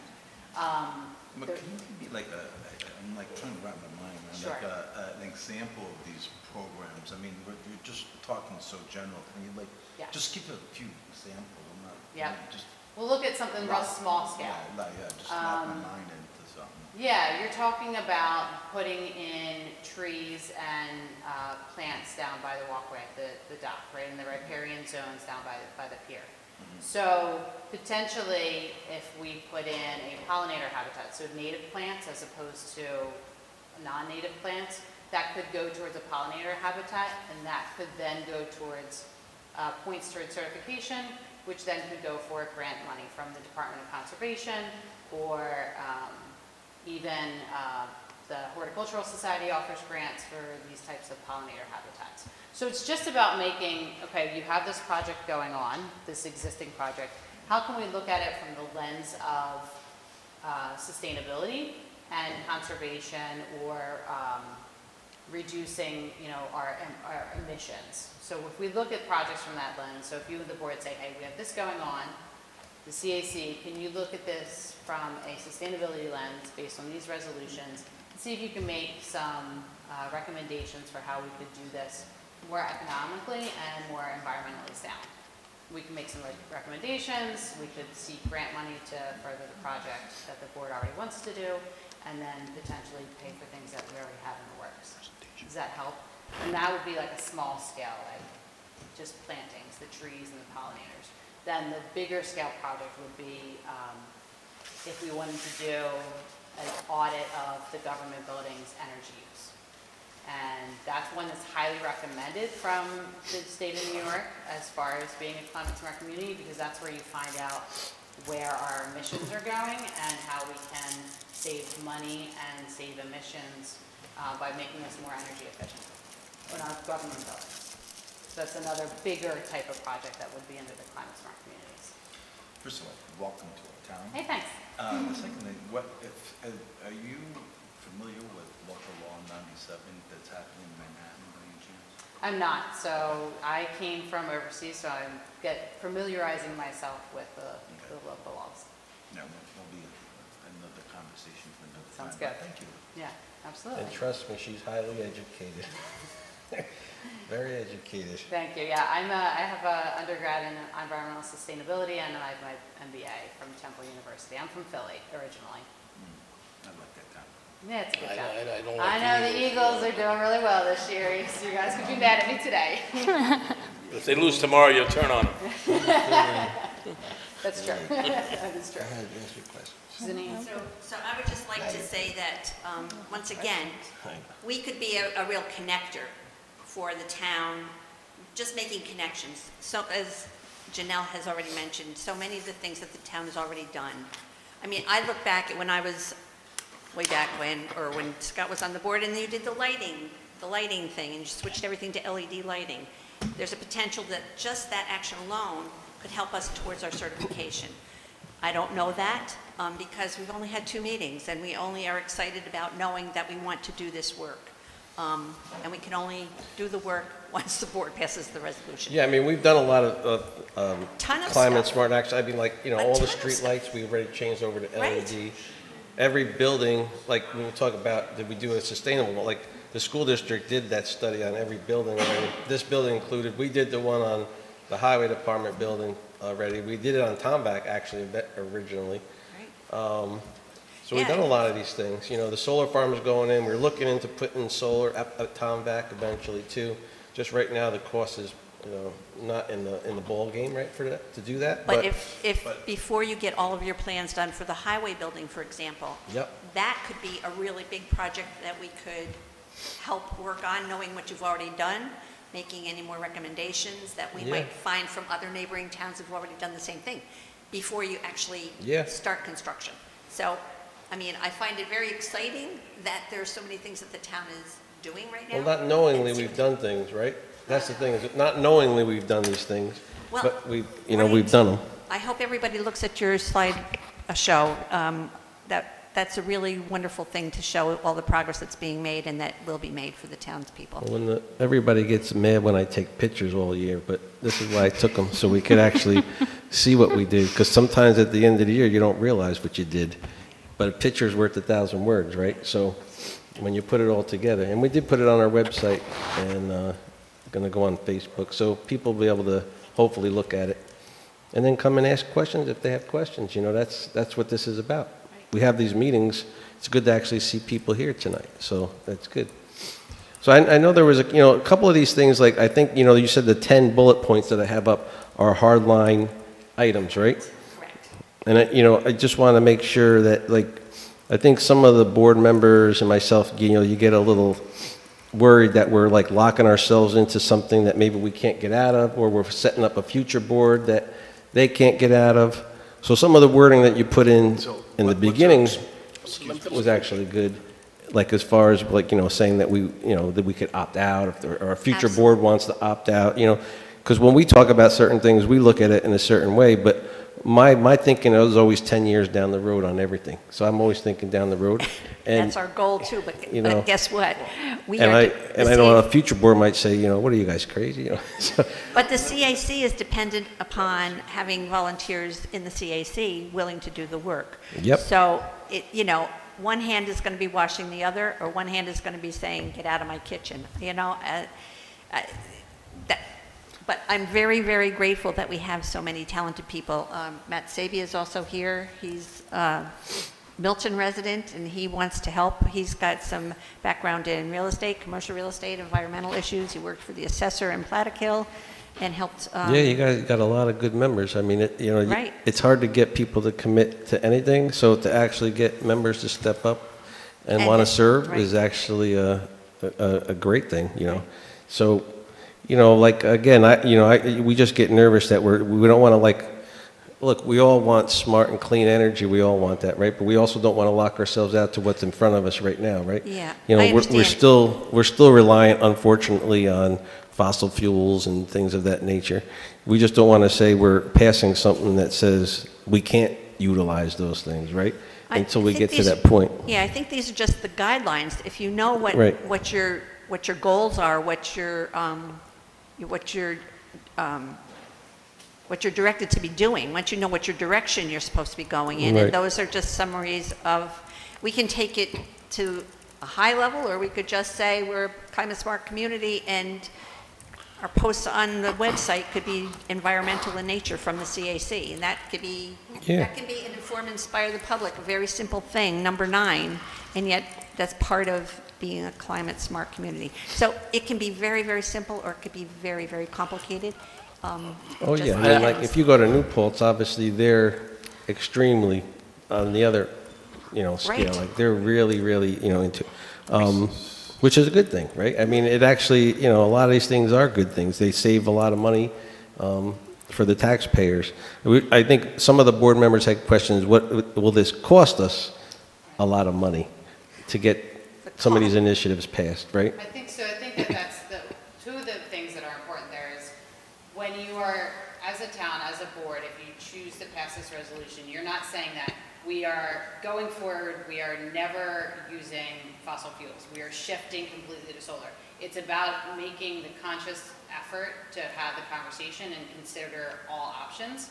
Um, so that's why I mentioned the fact that only 100 of the 368 towns are certified yet, right? This is a long-going process that the town, the board, the community members, and the committee get to choose what makes sense going forward over a very long period of time. And, I mean, I, as I said, I have an MBA, but my, my goal is always to save money and be sustainable, because otherwise, people are, are less likely, organizations, businesses, and towns can't get on board if you can't make it fiscally responsible. So the key to sustainability is to be environmentally sustainable, fiscally sustainable, and socially sustainable. So it has to work for all three areas. I have a couple of questions. Um, You mentioned that in Ulster County, seven towns. That's a small percentage of the amount of towns that are in Ulster County. If this is, you know, if this is the perfect thing, and I I don't see why anybody would be against it, why has it been such a low amount of towns in Ulster County? It's, I don't know exactly when the initiative came in place, but I do know it's a fairly new initiative, and so not all towns have even really heard about the initiative yet.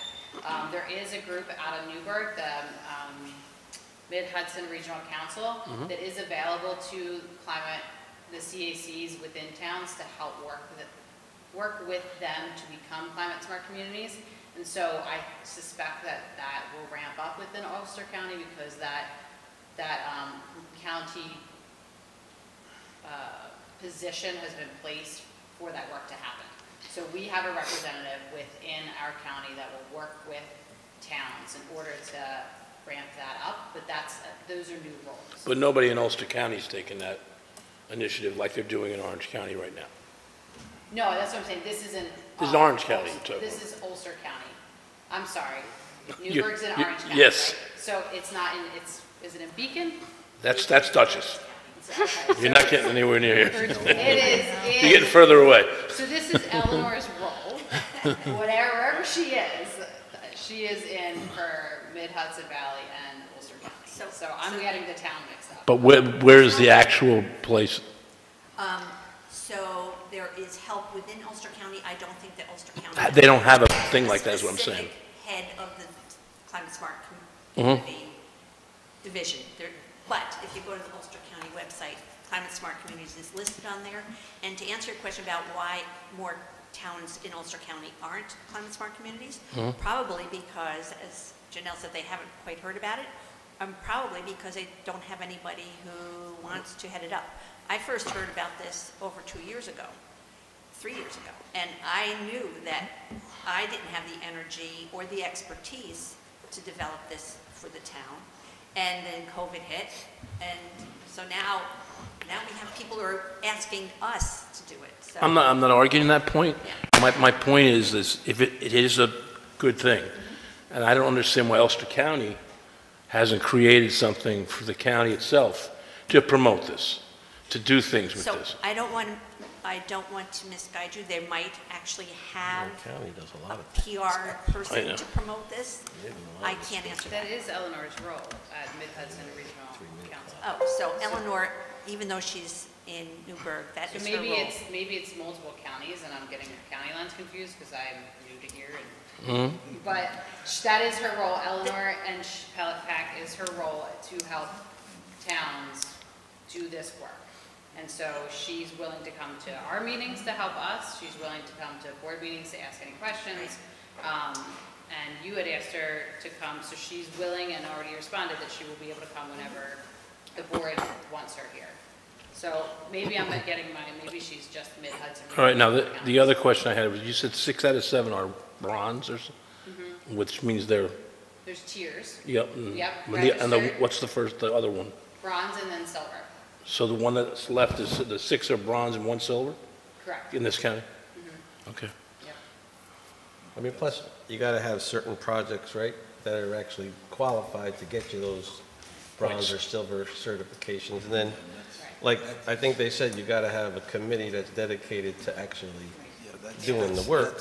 Yeah. And I could tell you, the county in general, I mean, I'm not gonna speak for the legislator, Corcoran, but I know they do a lot of initiatives for uh, climate and green energy, and uh, they're changing their vehicles all over to uh, electric, and they got electric stations all over, and so, I mean, the county itself has been doing a, a lot of work. I know uh, Pat Ryan was a huge advocate of that, who started it, and I believe it's continuing.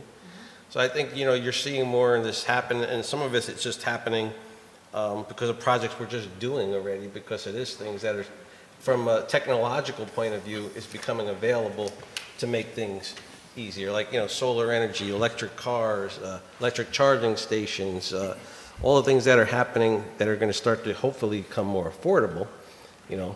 I tech, I would probably have an electric car if it actually was affordable, and it actually looked like my truck, First of all, instead of something out of space. I'm, I'm in the Yeah, business. It's I know gonna be- you are, but if, if you made a truck that looked like my truck and it got, and it cost the same, I'd buy it tomorrow.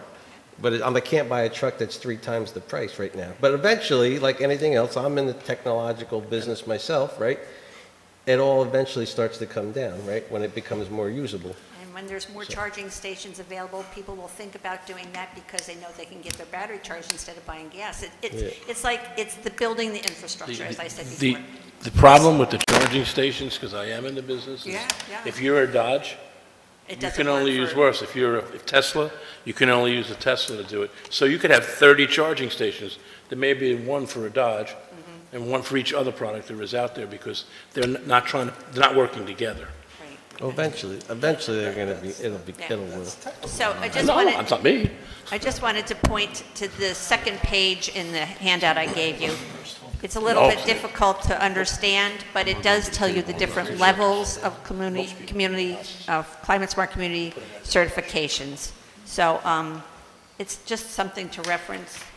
Okay, one, one- one thing that I, I want to understand here, I'm, I'm I'm thinking that, all of a sudden, it raised my curiosity about exposure and liability. I mean, is there, I'm I'm trying to be open with this. I mean, there Manny, put isn't- your mic on. What, what do you, Put your mic up. There you go. You're asking about exposure and liability, right? Yeah, I mean, uh, is, what kind of, um, is there, no, I, I'm. No more than whatever decisions you're making to bring in a peer, bring in uh, a, a dock, re- revamp anything, put in a playground. I mean, it's all going to be the same type of exposure and liability because we're not looking to build any new infrastructure. It's just about, you know, uh, adjusting or adapting to make uh, a different decision point. So what plants are we putting in, or what lighting are we putting in, or where's our energy coming from? But you're still having that energy come, so your liability is going to be. So what you're saying to me is that's a benefit, because if we're doing to their guidelines, we're gonna get a grant for it. Right. So we may get a grant. We're gonna apply, it'll allow us to apply for more grants, but we're still going off the town's guidelines. So it's still board decisions that are being made. So it's not like, um, we're saying, yes, we're checking this box and now the, the county gets to make these decisions. Still, uh, like, decision points are still No. happening here. The decision's always at the town board level. And like, what they're getting at is, when, when you apply for these grants, and like, you know, we've done a lot of grants now, you get points for certain things on your grants. That's how you uh, get awarded your grants. And a lot of the new grants coming out of, especially New York State, have a lot of these climate initiative um, items in there that will give you points towards getting a grant. Obviously, the more points you get, the more chance of uh, receiving that grant. And if even getting a greater amount in the grant. So the grant could be 500,000, you might only get 100,000, but if you do some more initiatives, you might get the whole 500,000. It depends on the point system and how it's worked. But that's how grants work. It's all based on point system.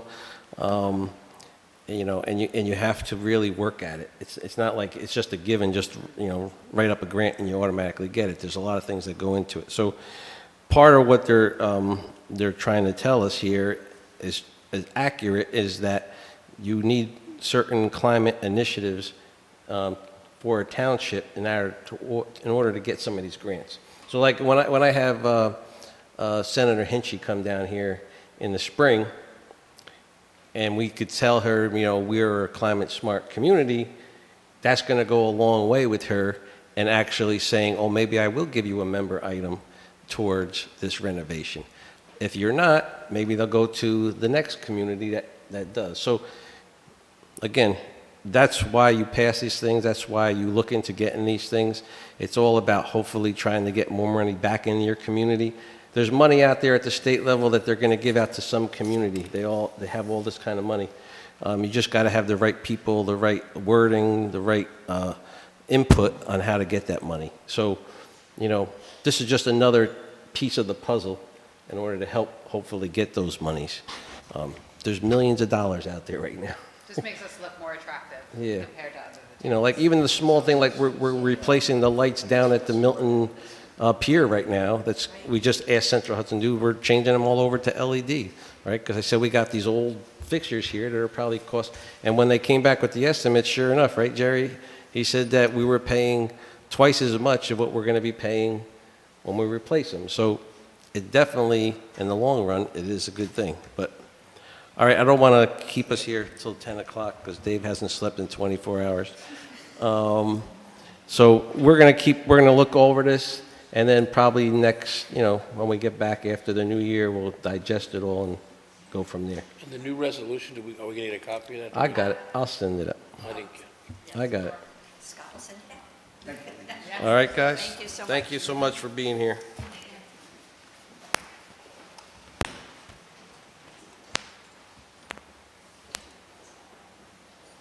All right. So IT committee, uh, the only thing we got on our IT committee this, this week was, uh, we're uh, talking with Barracuda. That's a, a service company that's going to hopefully um, uh, help us with our cybersecurity. Um, So Danny's working on negotiating that deal with them right now. Uh, We told them we have X amount of dollars budgeted for, and that's basically all we can afford, so we're almost there with that. Uh, Milton Train Station Foundation, I have not gotten an update from them.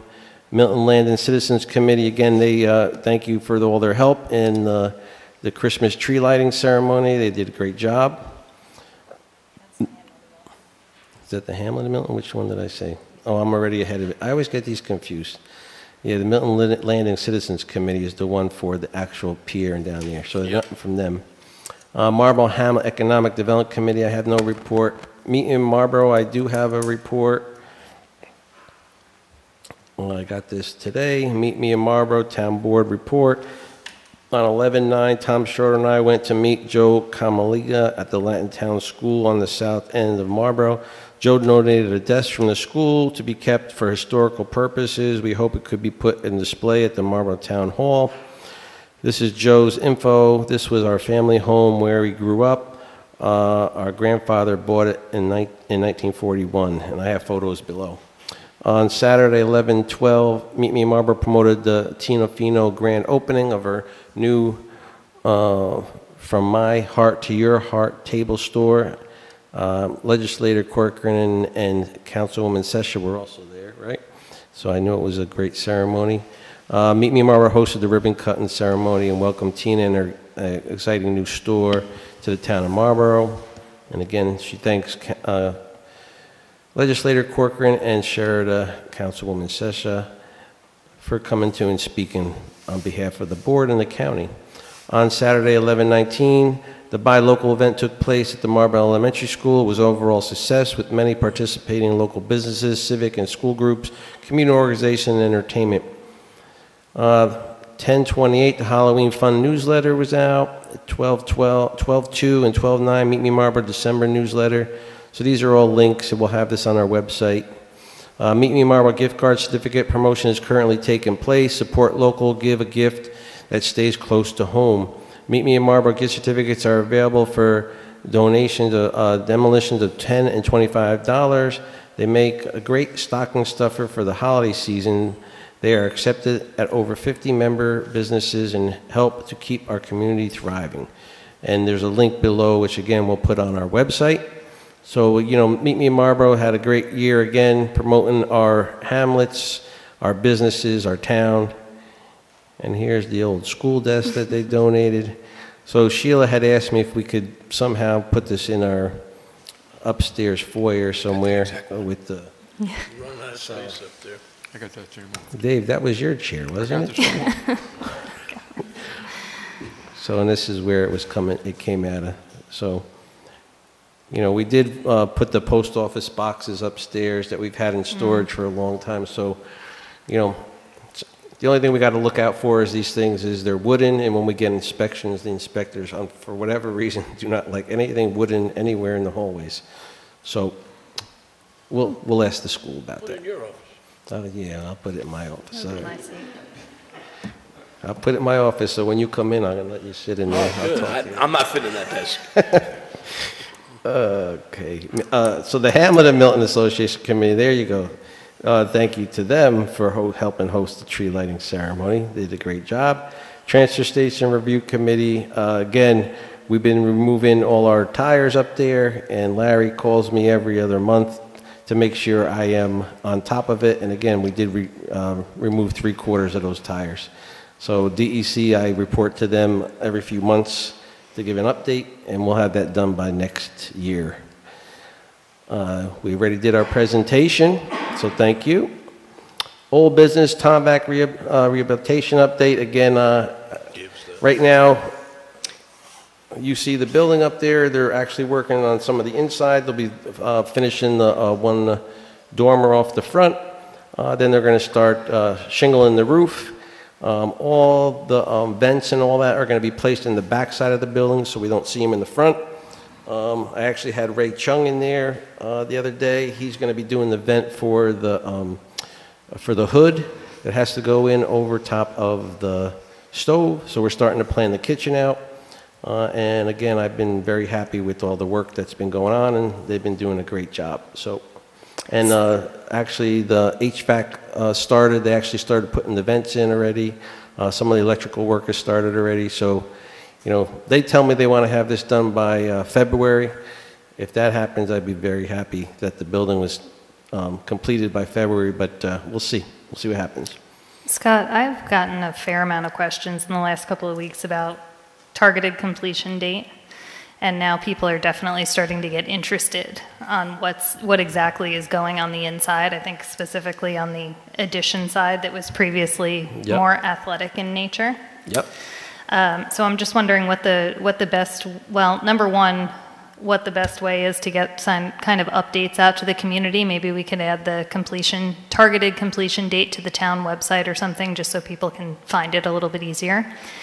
But then secondly, how firm is our plan on that recreational athletic side? And do we want to start kind of taking some suggestions from the community on what they'd like to see in there? What do you mean? Um, just a lot of people have a lot of opinions. Well, maybe they should have came to all the committee meetings Oh, we I know, oh, I know, it's like anything else, we're very behind on. So, you know, we had committee meetings for over a year. As of right now, it's going to be a recreation and a community center. No, I, I, I understand But, that. I mean, if they have other ideas, yeah, come to our meeting here and suggest them. I think they just are looking for a little more detail on what the interior is actually. Like recreation could mean a lot of things to various people, so just any more detail that we can provide, I think, would help alleviate some questions. Yeah, Anybody that wants to do recreational activities, they can come to the board meeting and ask if we will allow it there, and then we add it to our recreational activity schedule. You know, me personally, I want to try to get batting cages back in there again, that slide out that we had before, that was very successful. You know, obviously Zumba's going to go in there, boot camp's going to go Well, in that, there. that's what I mean. I think the Um, questions are, are there going to be things in there, or are we talking an empty space that's just rentable for Zumba type thing? I think that's the sort Oh, of it's not detail gonna that people are trying to get into at this It's not point. going to be empty space, I could guarantee you that. But, you know, I mean, as we start to get further in the process, obviously, you know I take a million pictures. I'll have plenty of updates that we could put on our website, our Facebook page. Um, Right now, it's an open space. Uh, It's going to have that cushiony, like, floor that you go to a gym. That's what's going to be in there right now. Um, It's just going to be one big open space at this. And then uh, we're going to plan from there, because, you know, there's many, many op- different things that could happen in that room. You know, it also could be set up for a secondary rental for a hall. I mean, although it's going to have a a cushiony floor, it could actually be two rentals there at the same time. So, you know, some, when I first was, we were talking about it, when we did this, uh, when we did the committee meetings, my envision was maybe like that side was like when they have like a, someone has a wedding, because people do have weddings there, that could be like the cocktail hour side, and the reception side's on the other, you know. And then maybe, like I say, 10, 15 years down the line, um, who knows? That could be the town hall at some point. So, you know, this is why we did the uh, expansion more so too, is like, if that ever happened and we needed to have a space, now we have a space, and it's big enough to house all the town facilities, so, um, there's a lot of things that could happen there. And again, it's, a- it's like anything else. It's a growing, different, changing atmosphere all the time. So whatever anybody wants to do there, come bring, report to the board, and we'll see if we could do it, right? So, I'm open. I know you guys are. So, uh, I don't have any new business unless you guys have any. I do got a few correspondence. I don't know if I read this last time, so I'm going to read it again. This was the one from the county. Um, This is from Ulster County. Dear Supervisor Corcoran, I'm pleased to inform you that after careful review, the town application for the Ulster County Recovery and Resilience Municipal Sewer and Water Grant have been awarded to you in the amount of $500,000. A staff member from the Recovery Resilience ARP Division will be in contact shortly to review the next steps. Congratulations, we look forward to working with the town to improve sewer and water infrastructure. And that's from Nathan Littman. And again, thank you to legislator Corcoran for all his help on that. It helps too that he sits on that committee, so that's pretty good. Um, The Empire State Development Grant Funds, uh, dear Supervisor Corcoran, thank you for your application to the Empire State Development Grant Funds in the Mid-Hudson REDC. We are pleased to inform you the town of Marlborough has been recommended to award $50,000. In addition to this award letter, this grant will be formally offered in an initiative proposal that will outline funding requirements, distribution terms, minority and women-owned businesses, contracting goals, employment requirements, environmental and historic preservation review requirements, and other terms and conditions required by the EESD funding process. So see, there's a lot of paperwork that goes involved, even just for $50,000. Um, And again, this is from the uh, Empire State Development Granting, and that's from uh, Regional Director of the Mid-Hudson Region. And. And the fifty thousand dollars is for what's I'm sorry. This $50,000 is going towards, um, remember I was talking about the initiatives for uh, the, um, the, um, uh, for Buttermilk Falls and the, the new uh, uh, big um, convention center they want to build? And they're, gon- this is for the studies that go into the road um, traffic and the pollution and things of that nature, environmental concerns. So when, to do those studies, you got to have those studies to get other grants, right? So those studies are going to cost about $200,000. So we applied for a matching of 100, and we ended up getting 50. So, but any money we get helps, because that's going to help the project move along, because it has to be done regardless. It's part of like the um, lo- a short, or long EAF, one that's got to go in front of the planning board, so it's part of that. So it helps them fund it. Uh, This one is uh, from Chief Cocozza. Dear Chief Cocozza, please accept this letter as my formal, is this an old one? It is an old one that recently came. Yeah, I was going to say, okay. I've been chasing it for three months now. All right. Please accept this letter as my formal notice of resignation from the Marlborough Police Department. As I had stated previously, at this present time, I am not able to meet the dispatcher minimum availability criteria set forth to me in November of last year. I would have liked to stay on at the MPD as a dispatcher and to have possible assisted in the department with areas such as records, property, room management. If at any time I can be of assistance in those areas of another type of position that you feel is good to fit, please feel free to contact me. The associations I've made during my employment at the Marlborough Police Department will truly be remembered for years to come. Thank you very much for giving me the opportunity to work at the Marlborough Police Department. I have enclosed my dispatcher badge, number 13, and that's sincerely Kimberly A. McNamee. Jerry, you keep giving us these resignation letters. All right, that's all I got for correspondence. Any other public comments? Anything else? Okay, let's go to resolutions then. Resolution 92, uh, appointing planning board member. Um, So we have, uh, Mr. Clark is uh, resigning as of um, January 1st, as you guys know. So we had did interviews.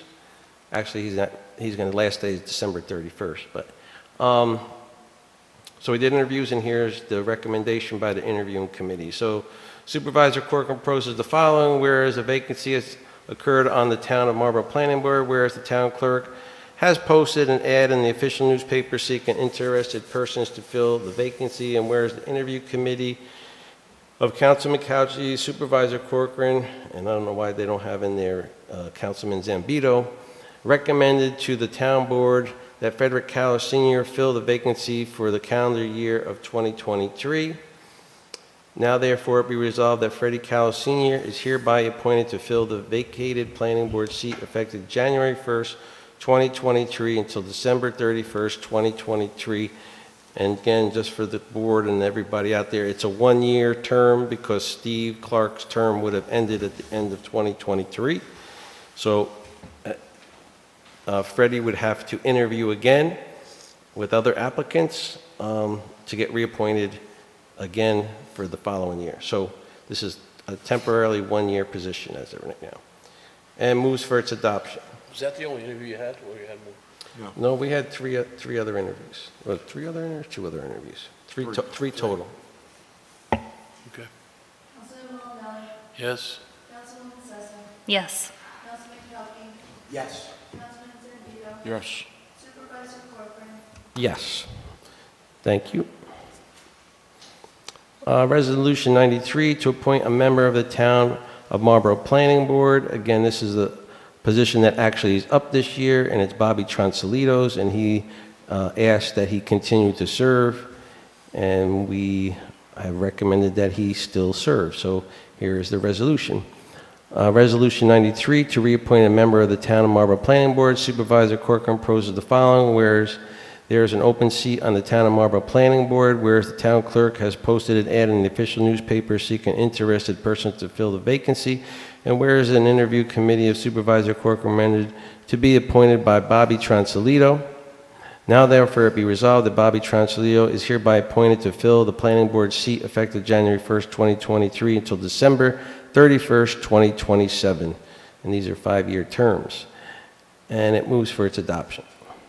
Councilman Molinelli? Yes. Councilwoman Sessa? Yes. Councilman Cocozza? Yes. Councilman Zambito? Yes. Supervisor Corcoran? Yes. Thank you, Bobby. Uh, Resolution 94, to reappoint member of the Ethics Board. Again, Joan has served on the Ethics Board for quite a long time and asked to be reappointed, and here's our resolution.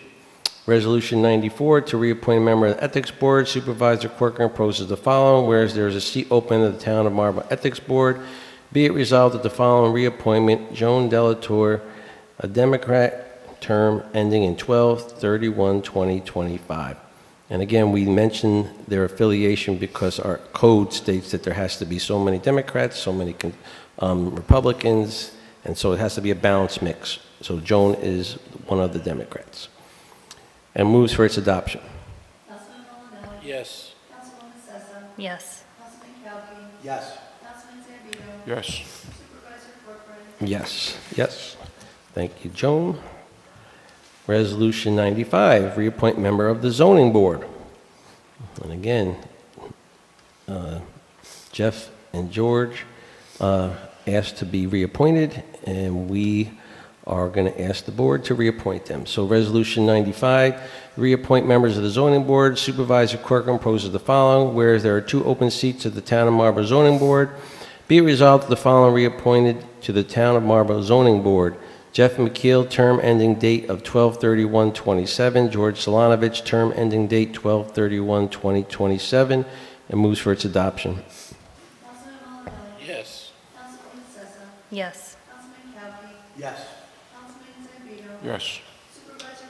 Yes, and thanks to Jeff and George. Okay, Resolution 96 to transfer funds. Supervisor Corcoran proposes the following, whereas the town board needs to approve the transfer of funds, be resolved that the following be transferred, transfer $55,620.70 from the water cash account SW-0200 to water capital reserve account SW-0230.006. This is amount that was collected this year for the water reserve account for future improvements. So this was one of the extras that was, um, we implemented this year on our water bills for future improvements in our water district. And this, so this year, we collected $55,620.70. And we have to move it into the right account and moves for its adoption. Yes. Yes. Councilman Yes. Councilman Yes. Supervisor Corcoran, Yes. Thank you. And we have a lot of resolutions because we only have one meeting this year. So, Resolution 97 to appoint a part-time cleaner. Supervisor Corcoran proposes the following. Whereas the town of Marlborough Milton train station is being rented often, and whereas the town wishes to hire a cleaner for all the train needs, uh, the train station needs, and whereas the town clerk has posted an ad in the official newspaper seeking interested persons to fill this vacancy, and whereas we received one application. Be it resolved that Emily Spellman be appointed to part-time cleaner for the Milton train station effective immediately. And so, that you know, this, this is um, something we actually haven't done. We haven't had a cleaner for the train station. So um, it came about because we rented the facility out, and the person that rented out came right up to the clerk's office and complained that the place was disgusting, um, and that they had to clean it, and they had to do a lot of work. So uh, we put out an ad, and we got this. I will be uh, uh, recusing myself from this vote, just so you know, because even though she's not a relative yet, uh, this person is engaged to my nephew, so I will not be voting on this. But I will ask the board uh, to move for its adoption. Yes. Yes. Yes. Yes. Thank you. Uh, Resolution 98 to transfer funds. Supervisor Corcoran proposes the following, whereas the town board needs to approve the transfer of funds. Be resolved that the following be transferred. Transfer funds from Marlborough Sewer Improvement Account ending in 9121 to the general fund account ending in 0166 in the amount of $61,249 for employee COVID bonus pay on a December 23rd payroll. And this is money that, um, in the COVID, money that we received from the federal government. Um, Rules were changed that anybody that was working through COVID was able to get a so-called bonus. Um, And since we were able to get significant amount of funds from um, other sources. Uh, This board chose to um, give these out to our employees, so we have to transfer these funds, and moves for its adoption. Councilman Molinelli. Yes. Councilman Sessa. Yes. Councilman Cocozza. Yes. Councilman Zambito. Yes. Supervisor Corcoran. Yes. Resolution 99. See how many resolutions we did this year? Uh, To accept a donation to the town of Marlborough. Supervisor Corcoran proposes the following, and thank you, Councilman Cocozza. Whereas Basic Corp. made a $500 donation to the town of Marlborough employees' holiday breakfast and Christmas party.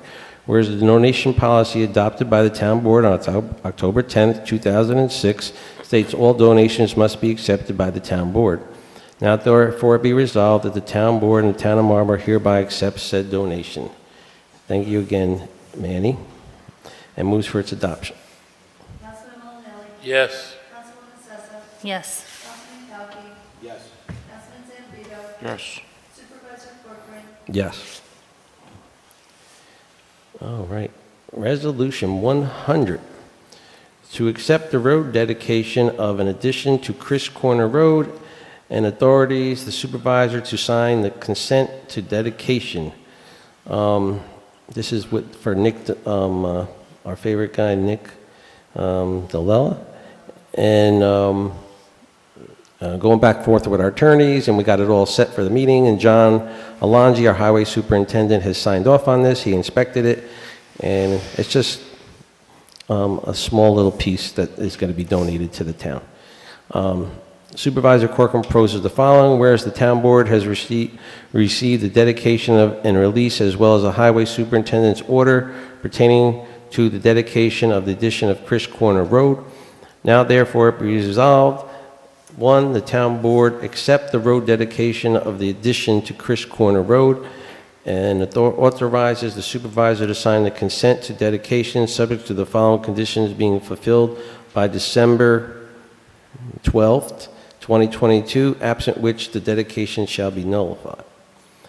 A, issuance of a title policy acceptance to the attorney of the town recording the deed of the road, properly executed and recorded instruments as follows. Deed, portions of Chris Corner Road to the town of Marlborough, payment of any outstanding expenses to the town, deposit sums sufficient to cover costs, recording instruments in the clerk's county office. All those things have been received, I have them in my office. Upon fulfillment of all these conditions, the supervisor shall be authorized to sign the consent to the dedication.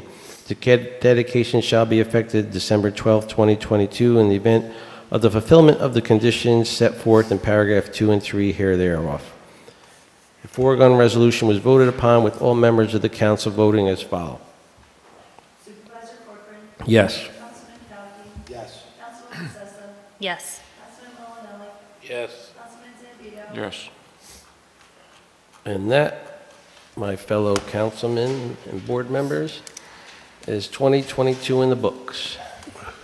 So Eddie, I'm going to leave it to you. I'd like to make my final adjust- uh, adjournment for the year, 2022.